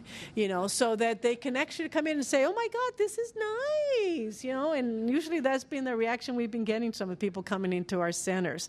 So we're definitely preparing. Uh, we want to partner. Um, and then, of course, the desired partners that we want is, is people that share the same values that we do. When I say values, is that I mean I, I got into this business in public health because that's that's my personal mission, and I won't bore you with my personal story, but that's my mission, and that's why a lot of our clinicians and people that work with us, um, this is their mission. That they feel that just because you know someone is poor, you can't get a Nordstrom service. We believe otherwise. We believe that because people are poor and they have either Medi-Cal card or a discounted card, we're still going to give them the same kind of service. And so we want to partner with people and other clinicians and, and medical groups that, that, that, have the same values that we do. Um, we. Uh, also want a relationship with partners that can bring us also again the businesses and and and have strong relationships with health plans so that we can have better rates than than I can negotiate on my own. So we can do that in, in a larger system. And um, so we want to increase that we want them to give us a greater capacity for more patients. Uh, we want a stronger specialty pool because right now that's one of our our weakness um, and then we want a partner that can engage us in decision making and also that are transparent with us and, and transparent with the, with uh, the data. And um, so the um, you know to sort of to end, um, um, I'm one of those people that my glass is half full. So um, I want to stay open to the changes that are happening in our in our system because you know in, in I, I feel that uh, in in everything uh, right now we probably are looking at this and it's very fearful in terms of how it's going to affect me personally or how it's going to affect my business. But if we pull back and say, well, is this the right thing for the nation to do? Um, and I also like to think about the the economic impact that, that it's going to have back in the communities. Uh, for us, um, the, the um, economic index for a community center is like a, a, factor of two. So for 45 million, it means that we have an economic index of 90 million. For, for Tri City, you know, how many millions are you? Uh, 400 million. A hospital uh, economic factor is a factor of three. So uh, if the hospital, because of this newly insured, increases the bottom line by another 10 million uh, or 20 million, really the economic factor of those extra 20 million is 6 million in the in, in the community. So I like to stay open with that. So I will join in the panel and be open for your questions. Thank you. What questions do you have? Uh, if you have a general one and you don't know who you want to direct it to or to answer, that's fine. But if you want to direct a specific question to one of the panelists, please do so. No, I would probably uh, pitch that to Alain. I'm certainly not as familiar with uh, the Massachusetts experiment as he is, uh, but I, w- I would suspect that we would find uh, that the scenario that I went over would be uh, would be a very similar uh, outcome. I, I would agree with that based on the graphs I showed earlier. One of the impacts that was quite clear when the reform was passed in 2006 was immediately the Massachusetts healthcare costs took off, which is what motivated the new bill. So I think it'd be a similar experience. In my view, it's not going to change it right away. Um, right I think the first, and, and I'll tell you why I think that. There are, this is an incredibly complex bill. As a matter of fact, um, when, um, when Larry was talking about the 2,400 pages, there's a little club that um, I'm a member of, and uh, the winner who wins on a particular day is to come up with a new provision nobody knew about. anyway, um, we're talking about putting 32 million, providing 32 million people with insurance who don't have it now. And the, the very big influence of insurance is to increase the cost because it reduces the cost to you in a number of ways. First of all, um, your premiums are subsidized um, there's something called the tax deductibility of of uh, health insurance when Larry covers me if I'm an employee of Tri Cities. I don't pay taxes on the value of the benefit he's given me. Number one. Number two, if Rob, if I, if Rob is my um, family physician, as I was mentioning before, if his bill is really $100 that the insurer is going to pay, but I only pay 20, I have the incentive to use more. This is no different than saying if you are a lover of avocados and you can get three for a dollar today and four for a dollar tomorrow, are you about to if they're 25 cents versus 33 cents, aren't you going to buy more avocados if they're 25? So, we know that health insurance itself is cost enhancing.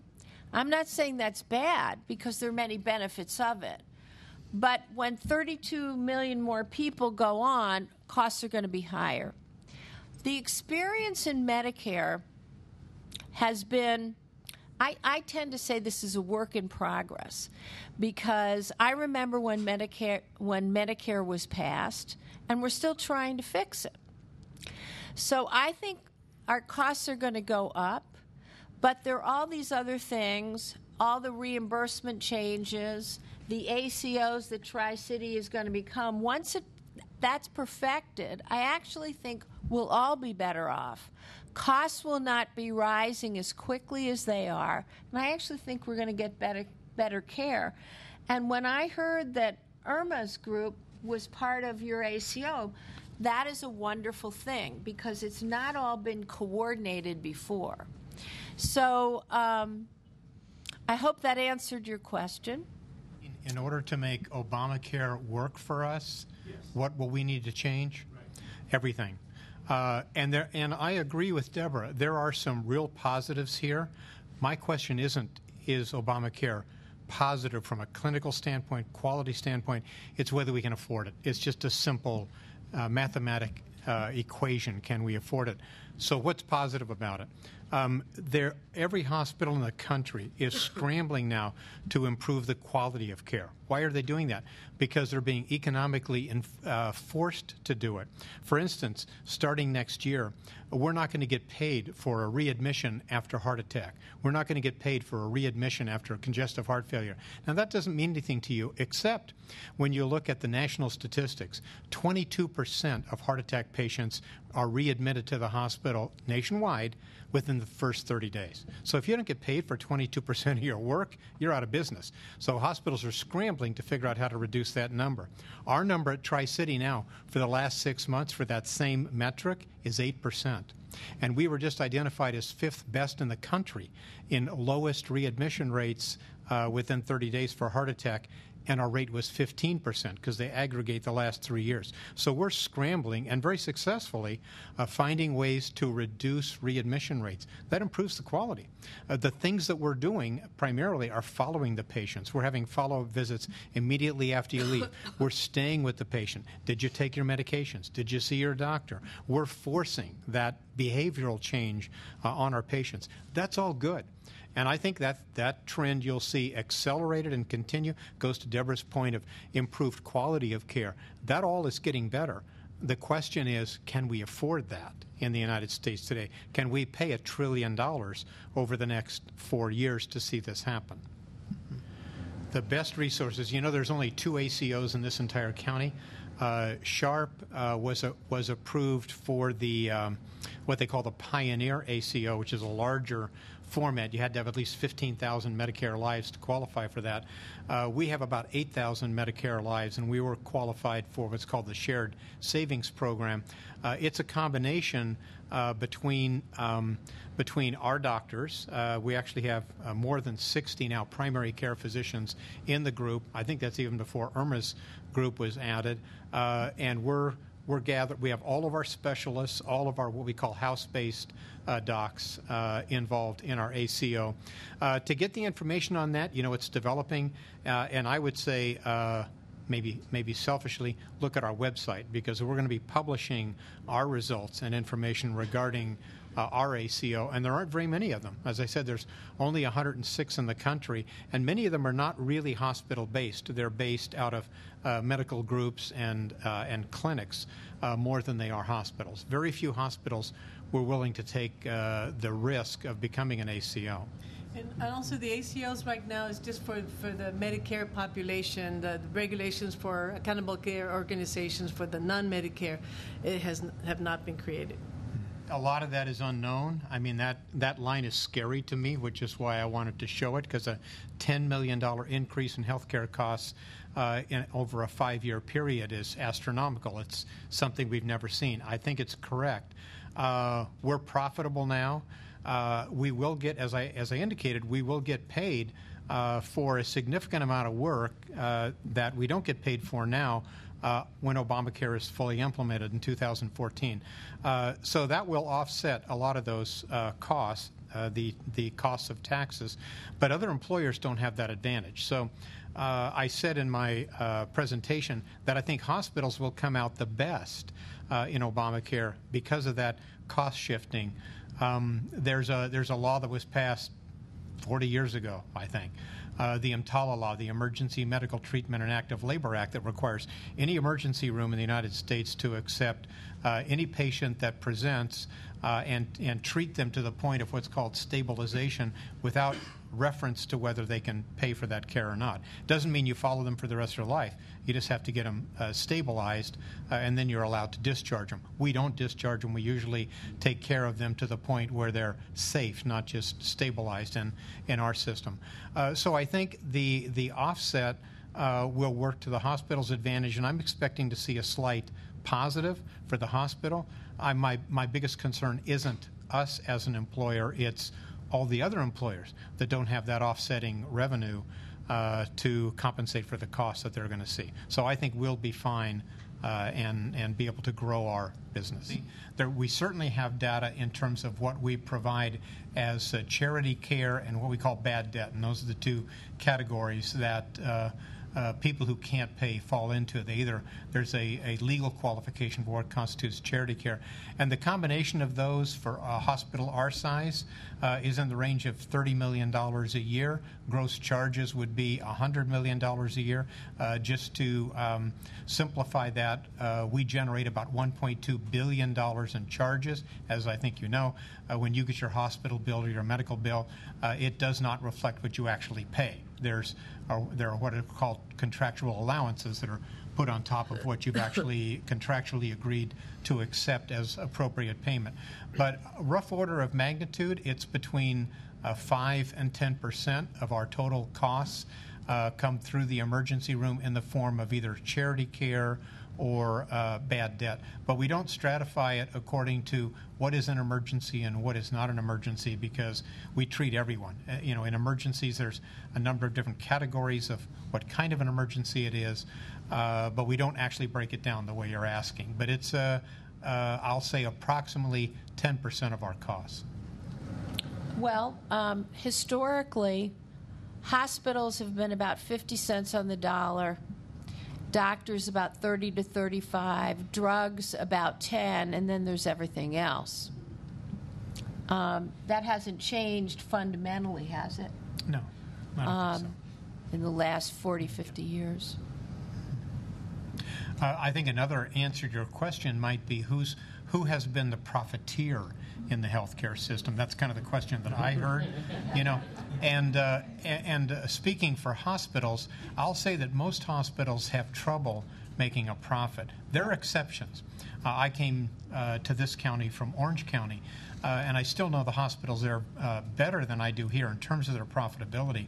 And I can tell you there are four or five hospitals in Orange County that are wildly profitable mm-hmm. uh, beyond almost anyone's imagination than everybody else who's just struggling. And those are the hospitals that I ran.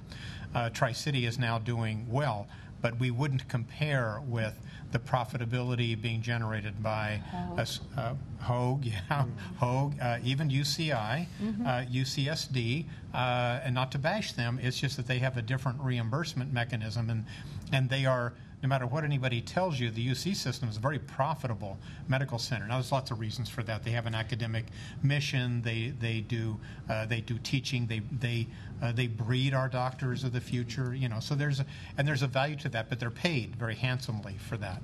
Uh, so, uh, but but. Uh, to answer your question, I wouldn't say that the hospitals have profiteered, although with some exceptions. Uh, but I think the insurance companies have done amazingly well. All you got to do is, uh, uh, if you're so inclined, just to go read the, the 10Ks uh, for the major insurance companies. Uh, I think all of which are public companies, certainly most of which are public are. companies. Most of them. and you can you can see the profits that they generate and the salaries. People complain about my salary. Go look at their salaries. You know, let's, let's, have a North County Times report on I that. I would add when it's it's it's a lot more complicated than this. But if you remember, I tried to explain what a lot what the medical loss ratio was. Okay. Um, the, the rule of thumb is the higher is the lo- the higher or the lower is the loss ratio. In other words, the more of your premium that's paid out to reimburse, reimburse you, the lesser is the profit. So the 80%, um, the 80% medical loss ratio is supposed to sort of protect against that, except that a lot of the, the what are regarded as the best known plans, and many but not all are nonprofit, run close to 90. That means they're keeping 10%, and that's supposed to cover administrative cost, and the profit would come out of there. So um, look for those numbers, which will be published under the new law. And uh, you're going to get slapped if you're less than 80. And there are a lot of um, health insurers who are scrambling to get up to 80. Um, you might have noticed that Anthem was one of those that it's been all over the news here. Um, and I'm not picking on them, it's just they've had to give money back in order to make it. So, Okay, a little a little bit on that because uh, uh, with Deborah's point on the medical loss ratios, you've all all of you who are insured either have gotten some notice from your insurer about how much they're going to pay you. Well, I belong because I'm a retired federal employee. I belong to what's called the Federal Employees Health Benefits Program. That insures millions of uh, existing and former federal employees and. Uh, we got a notice recently in our mailbox saying that the medical loss ratio rebate, I don't know exactly what they called it, but whatever that name is, uh, was so small it would literally generate a check for only pennies. So they were going to hold it uh, in abeyance and just suck it up in future premiums. So I'm not sure that that, that whole piece of the legislation is. Uh, uh, is going to be such a such a powerful piece because that's millions of Americans, and we're getting nothing from that.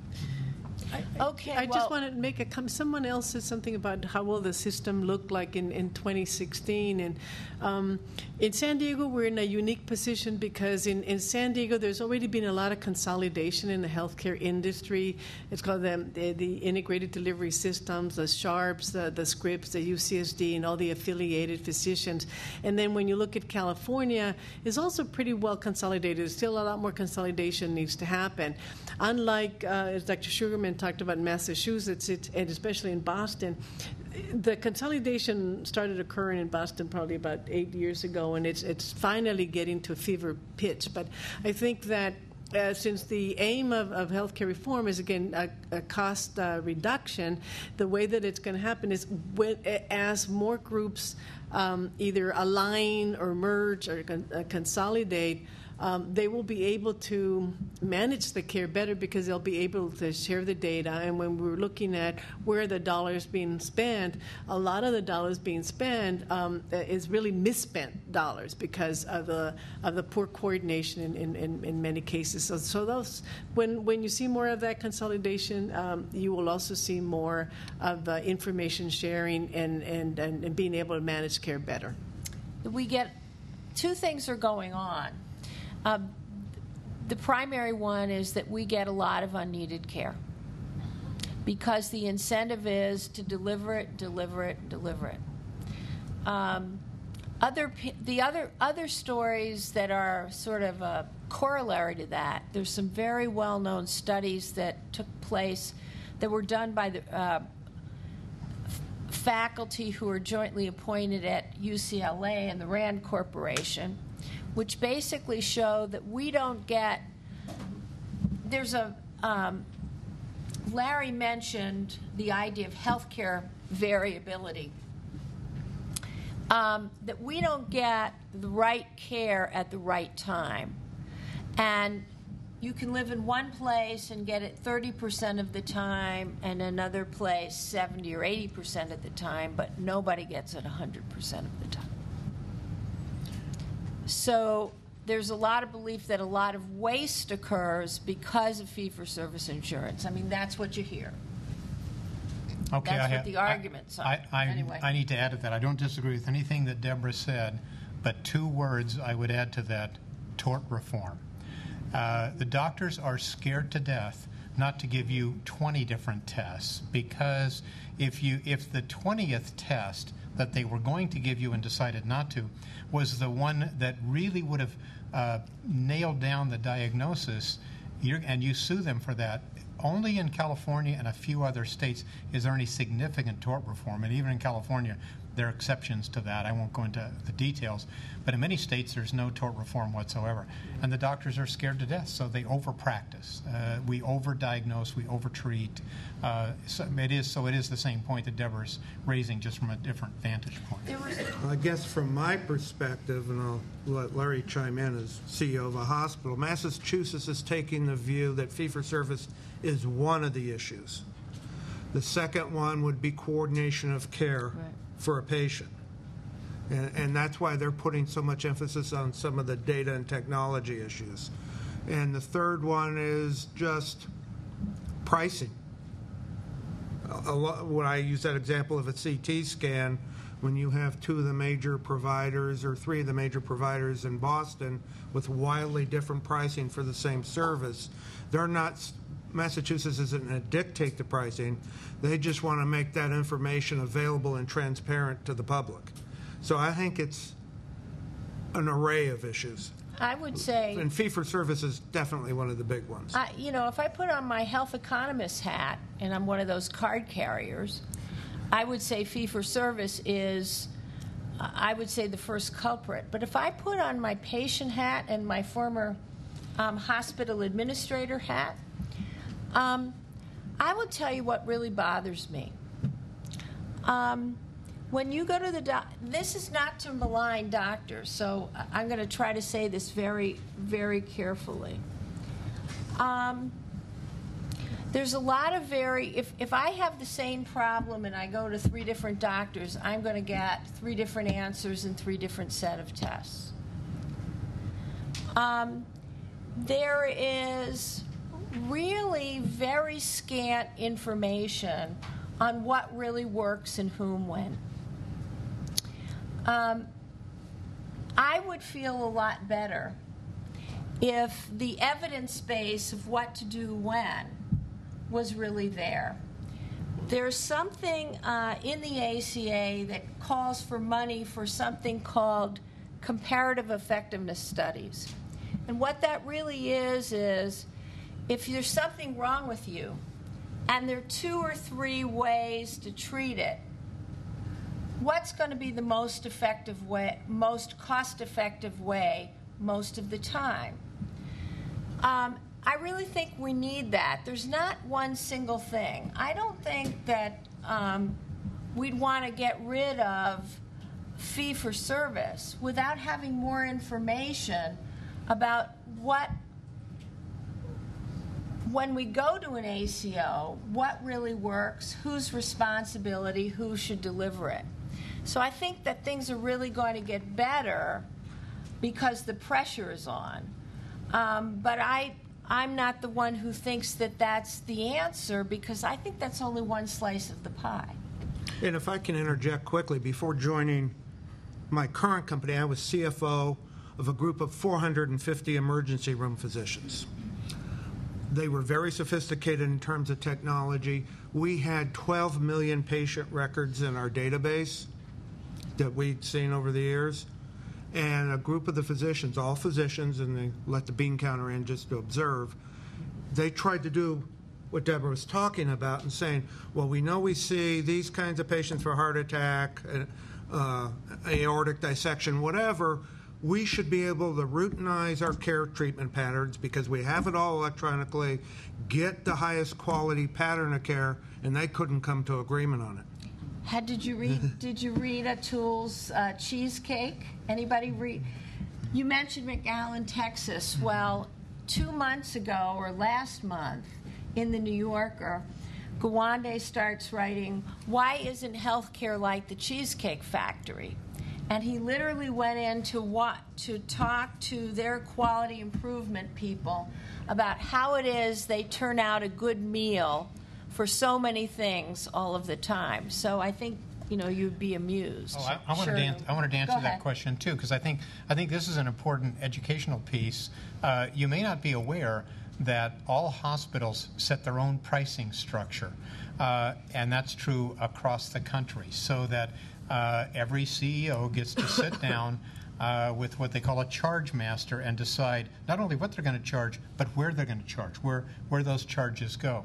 And then there's a thing called contractual allowances, which I mentioned earlier, uh, which is uh, the the deduction uh, from your charge master that the federal government takes and the state takes, and they decide what that is. You negotiate a little bit with the state. You don't negotiate with the feds. They tell you. However, in this in this uh, milieu, there's not really a free market, uh, and here's why.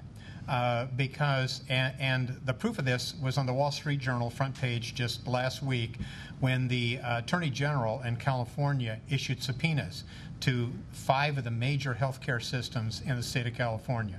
Uh, so who were they? Sutter Healthcare, 30 some hospitals, Dignity Health, formerly known as California Healthcare uh, West, about the same size, uh, Scripps Health, and Sharp, two in San Diego. And why did they? Why did she issue those subpoenas? She did it because those systems are so large in their markets that they actually control the market, mm-hmm. and they're viewed as being yep. anti-competitive. Uh, and what that means to uh, someone like Tri City Medical Center is that it's very difficult for us to compete because they can charge virtually whatever they want and they can actually get it. So if you're an insurance company coming to Scripps and you have to have Scripps in San Diego, you cannot afford not to have them. That's the definition of being anti-competitive. You will sign with with whatever they ask you to do.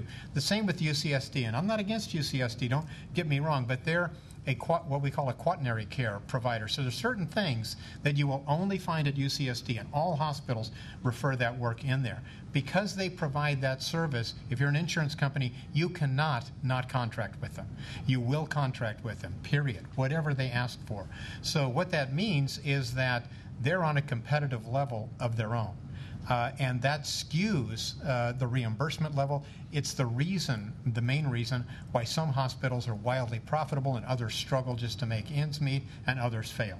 Do you want to say well, something, well, Irma? I'll, I'll, start there. And, and um, the um, you're right. The, what you're talking about, there's that that that that social side of medicine. The social determinants social, of disease. Exactly, social determinants of disease that um, as, um, as a medical society, we haven't grappled well with that. And I think that's part of what um, the accountable care um, is attain, uh, attempting to, to address. And this is why when they talk about the patient centered home, not just in the primary care arena, but they're really talking about in coordination with, with the specialist and in coordination with the hospital. Uh, for instance, now um, we chose to do this with the with the hospital in that the the um, people that are getting discharged without a without a doctor, they're referred to the clinic. People that are getting discharged from the emergency room and they don't have a medical home, they, they get referred over um, to the clinic for care so they can establish a medical home. But um, if we were to be providing that coordinated care, the the hospital would be working um, with you. If you were part of this accountable care organization, they would be partnering with the with a physician to make sure that that patient, if they needed intermediate care care would go to either assisted living or a nursing home, you know, a SNF, or they would coordinate with um, the um, nurses to do home visits and so that they could get the care that they need. And maybe if they're a senior uh, individual, they might coordinate with um, the, um, the, with the senior center for some social support. So in the in the new system, you will be working together because you will all be responsible for that patient, not just the physician but the system. And there will be an incentive. The ACOs, um, when all the bills are paid, with all the people that are partnering in patient care, it is believed that there will be savings in the system. Will then that will then be shared with with the providers and and those that are partnering in the care of that patient. And in the end, that that patient would would be better and the, the expectation is that they won't be coming back to the hospital within those 30 days, or they won't have a readmission, or they'll be able to take care of their diabetic, the diabetes, and they'll keep their diabetes under control because you coordinated the care with that nutritionist and you coordinate make, make sure that they had the proper nutrition. So eh, that's in the perfect world.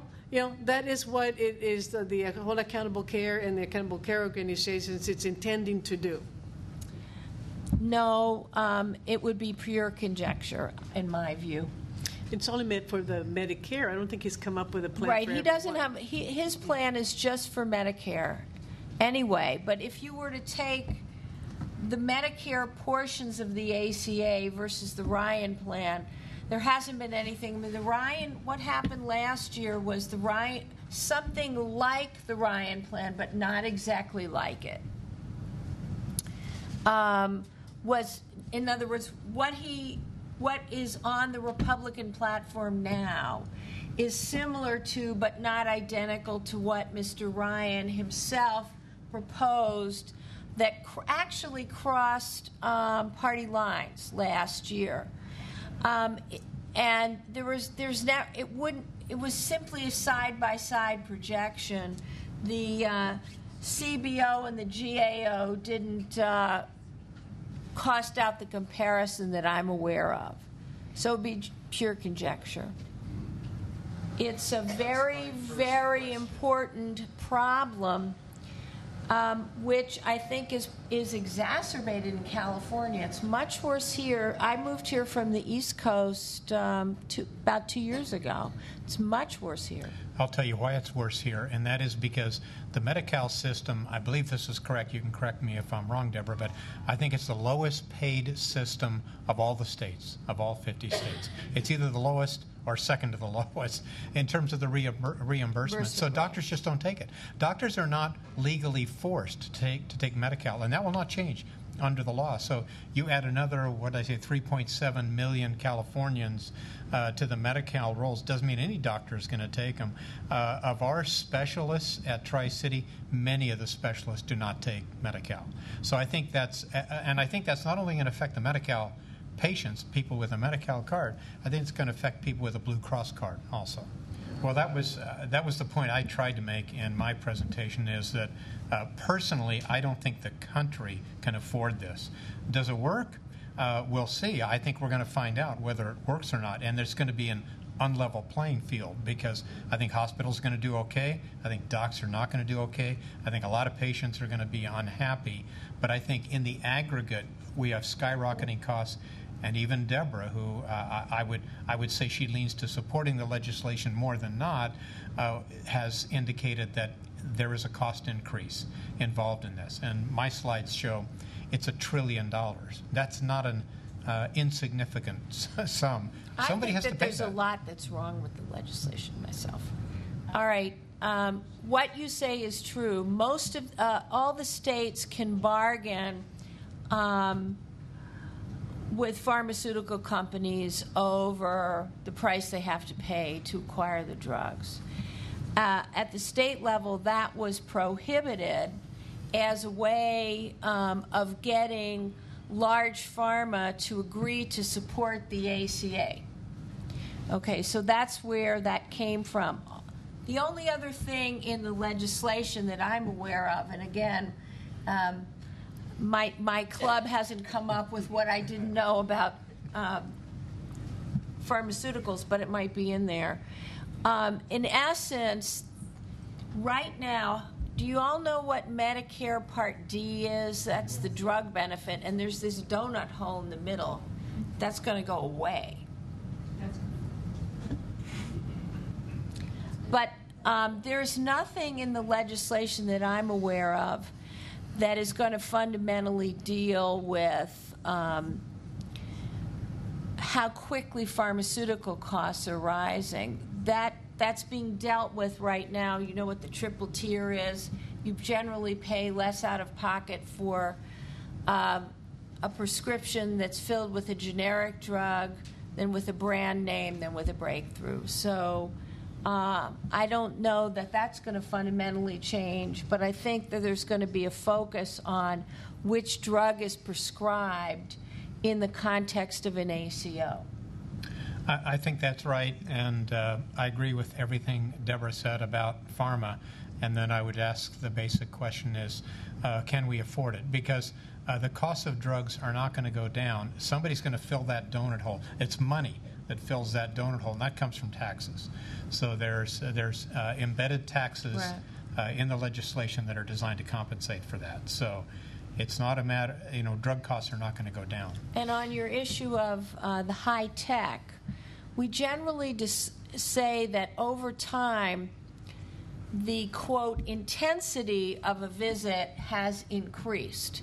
That is, if you look at how you would have I have mild. I have mild to moderate asthma. It rarely kicks up on me. But the way it was treated 20 years ago is very different than the way it's treated now. There are more drugs, there are more tests, and I get all of those now. And that's the intensity factor, which is the high tech factor. Um, if if you look around uh, at what insurers are doing uh, right now, they've put in most all of them have put in what's called prior authorization, and this is for when you get an MRI or a CAT scan because that stuff's gone through the roof. It used to be you didn't have to ask permission, you just do it. Now you did. That's because of the intensity factor. It's not only gone through the roof, it's on level. It can cost twice as much at Hospital A than it does at Hospital B. Uh, I do. I think that focus is good. Actually, I think there, so maybe Deborah and I are not far apart because I think there are some very good parts of the statute. I like the fact that it covers my son, my 22 year old son, at home under my plan when he would be off the plan. Otherwise, uh, I like the uh, guaranteed coverage provision. I, I, certainly like the wellness provisions, although I think they're uh, infantile in many ways. I mean, they're. Yeah, that's For right. example, here, the Wellness Center. Yes, Of mhm. where you have come. But, you know, there aren't enough people that are doing that. And Right. I, I just would like to see more motivation for that Yeah. in this plan. I don't see that. Well, that's where, where I said the requirement of patient engagement comes in. But if you can prevent one diabetic coma a year from uh, uh, uh, an advanced diabetic who's not going to be in a hospital for two weeks, how much is it for two weeks? At a hospital. so if you can, which hospital? If, if you so if you can prevent um, through education and providing nutrition education and, and signing a contract with that patient about you know you've got some responsibility if you can prevent one of those in, in multiple you know times it, it, that, that's where the savings going to be um, there are some health insurance and some employers that are saying to their um, uh, staff who's who's on that road to becoming obese is already obese or smoking excessively, you will now be able to really say to these individuals, you know, maybe your care will cost more. Your insurance, you, you maybe it's no longer we're going to provide it free, but you have to maybe pay fifty dollars. Now, there's in California, there's laws against some of that in terms of how you can approach it, but there's going to eventually become the, uh, ways available that uh, across the board you can make some decisions about uh, responsibility of individuals and and how much they have You to know, pay. You know, Irma's organization is, is rather unique. I, my ears really perked up when you were describing your health center and in the description um, introducing you, I heard that you also have to do WIC and Yes. all these things. Um, before, she was mentioning the social determinants of disease. If you take something like diabetes or eating too much, um, obesity, there are a lot of things out there that have nothing to do that they deliver that healthcare providers in the delivery system can't fix. Um, if I don't have enough money to buy a fresh apple, and I buy one that's sugary because it's preserved, that's a nutrition problem. If I buy regular spaghetti rather than whole wheat spaghetti, in other words, I haven't bought the whole grain because it's twice as expensive. There are all kinds of problems out there, and we haven't talked about how to put Right. everything together yet either. Yeah. Five percent of in Medicare, five percent of the people. Okay, five percent of the people use about eighty percent of the care because of what goes on in the last year of life. Yes, well, of course, we haven't talked about the death panels yet. Death panels. oh, Larry. Now you really woke everyone up. yeah. Yeah, so maybe we need to have that discussion. That's another- I, I just, I, session. I, I, not really in response to that question, but there's a comment that's rolling around in my mind because Deborah mentioned uh, socialized medicine, and this is not socialized medicine, and I have to echo that because I can tell you, socialized medicine. I know people uh, in foreign countries, uh, Canada, England, elsewhere, uh, who are in socialized medicine uh, systems, and uh, they not only don't get good care, healthcare is actually rationed, rationed to the extent that they leave their own country to come to this country to get care. So the question I would throw back to the audience is did we have it so bad? That we needed to make a change. Certainly, our costs are skyrocketing. I think a lot of that, frankly, could have been dealt with tort reform and other issues rather than uh, changing the entire system because we've we've thrown the baby out, and I don't know if the bathwater is going with it, uh, but but it might be. Yeah, but the the question, uh, um, you know, I, I, I have a, a cousin who's in a nursing home, and I go visit, and I on occasion I view into the rooms, and um, I I see people that probably if you give them a choice, they would want to be at home. And, and not uh, there for months. And um, we, we have the ability to keep people comfortable at home uh, with palliative care. Uh, of course, it's better if they have a loved one at home or they have uh, nursing uh, attendants coming into their homes. But um, I think that we definitely can do better to help people in in, um, in those end stages that they can be home and be comfortable, and um, and, and people should be given those choices and it would reduce and, and it's not more so on, on the reduction of cost but it's more about how to give how to treat people in a respectful manner and in the way they want to be treated Please give our panelists a rousing round of applause. Thank you so much.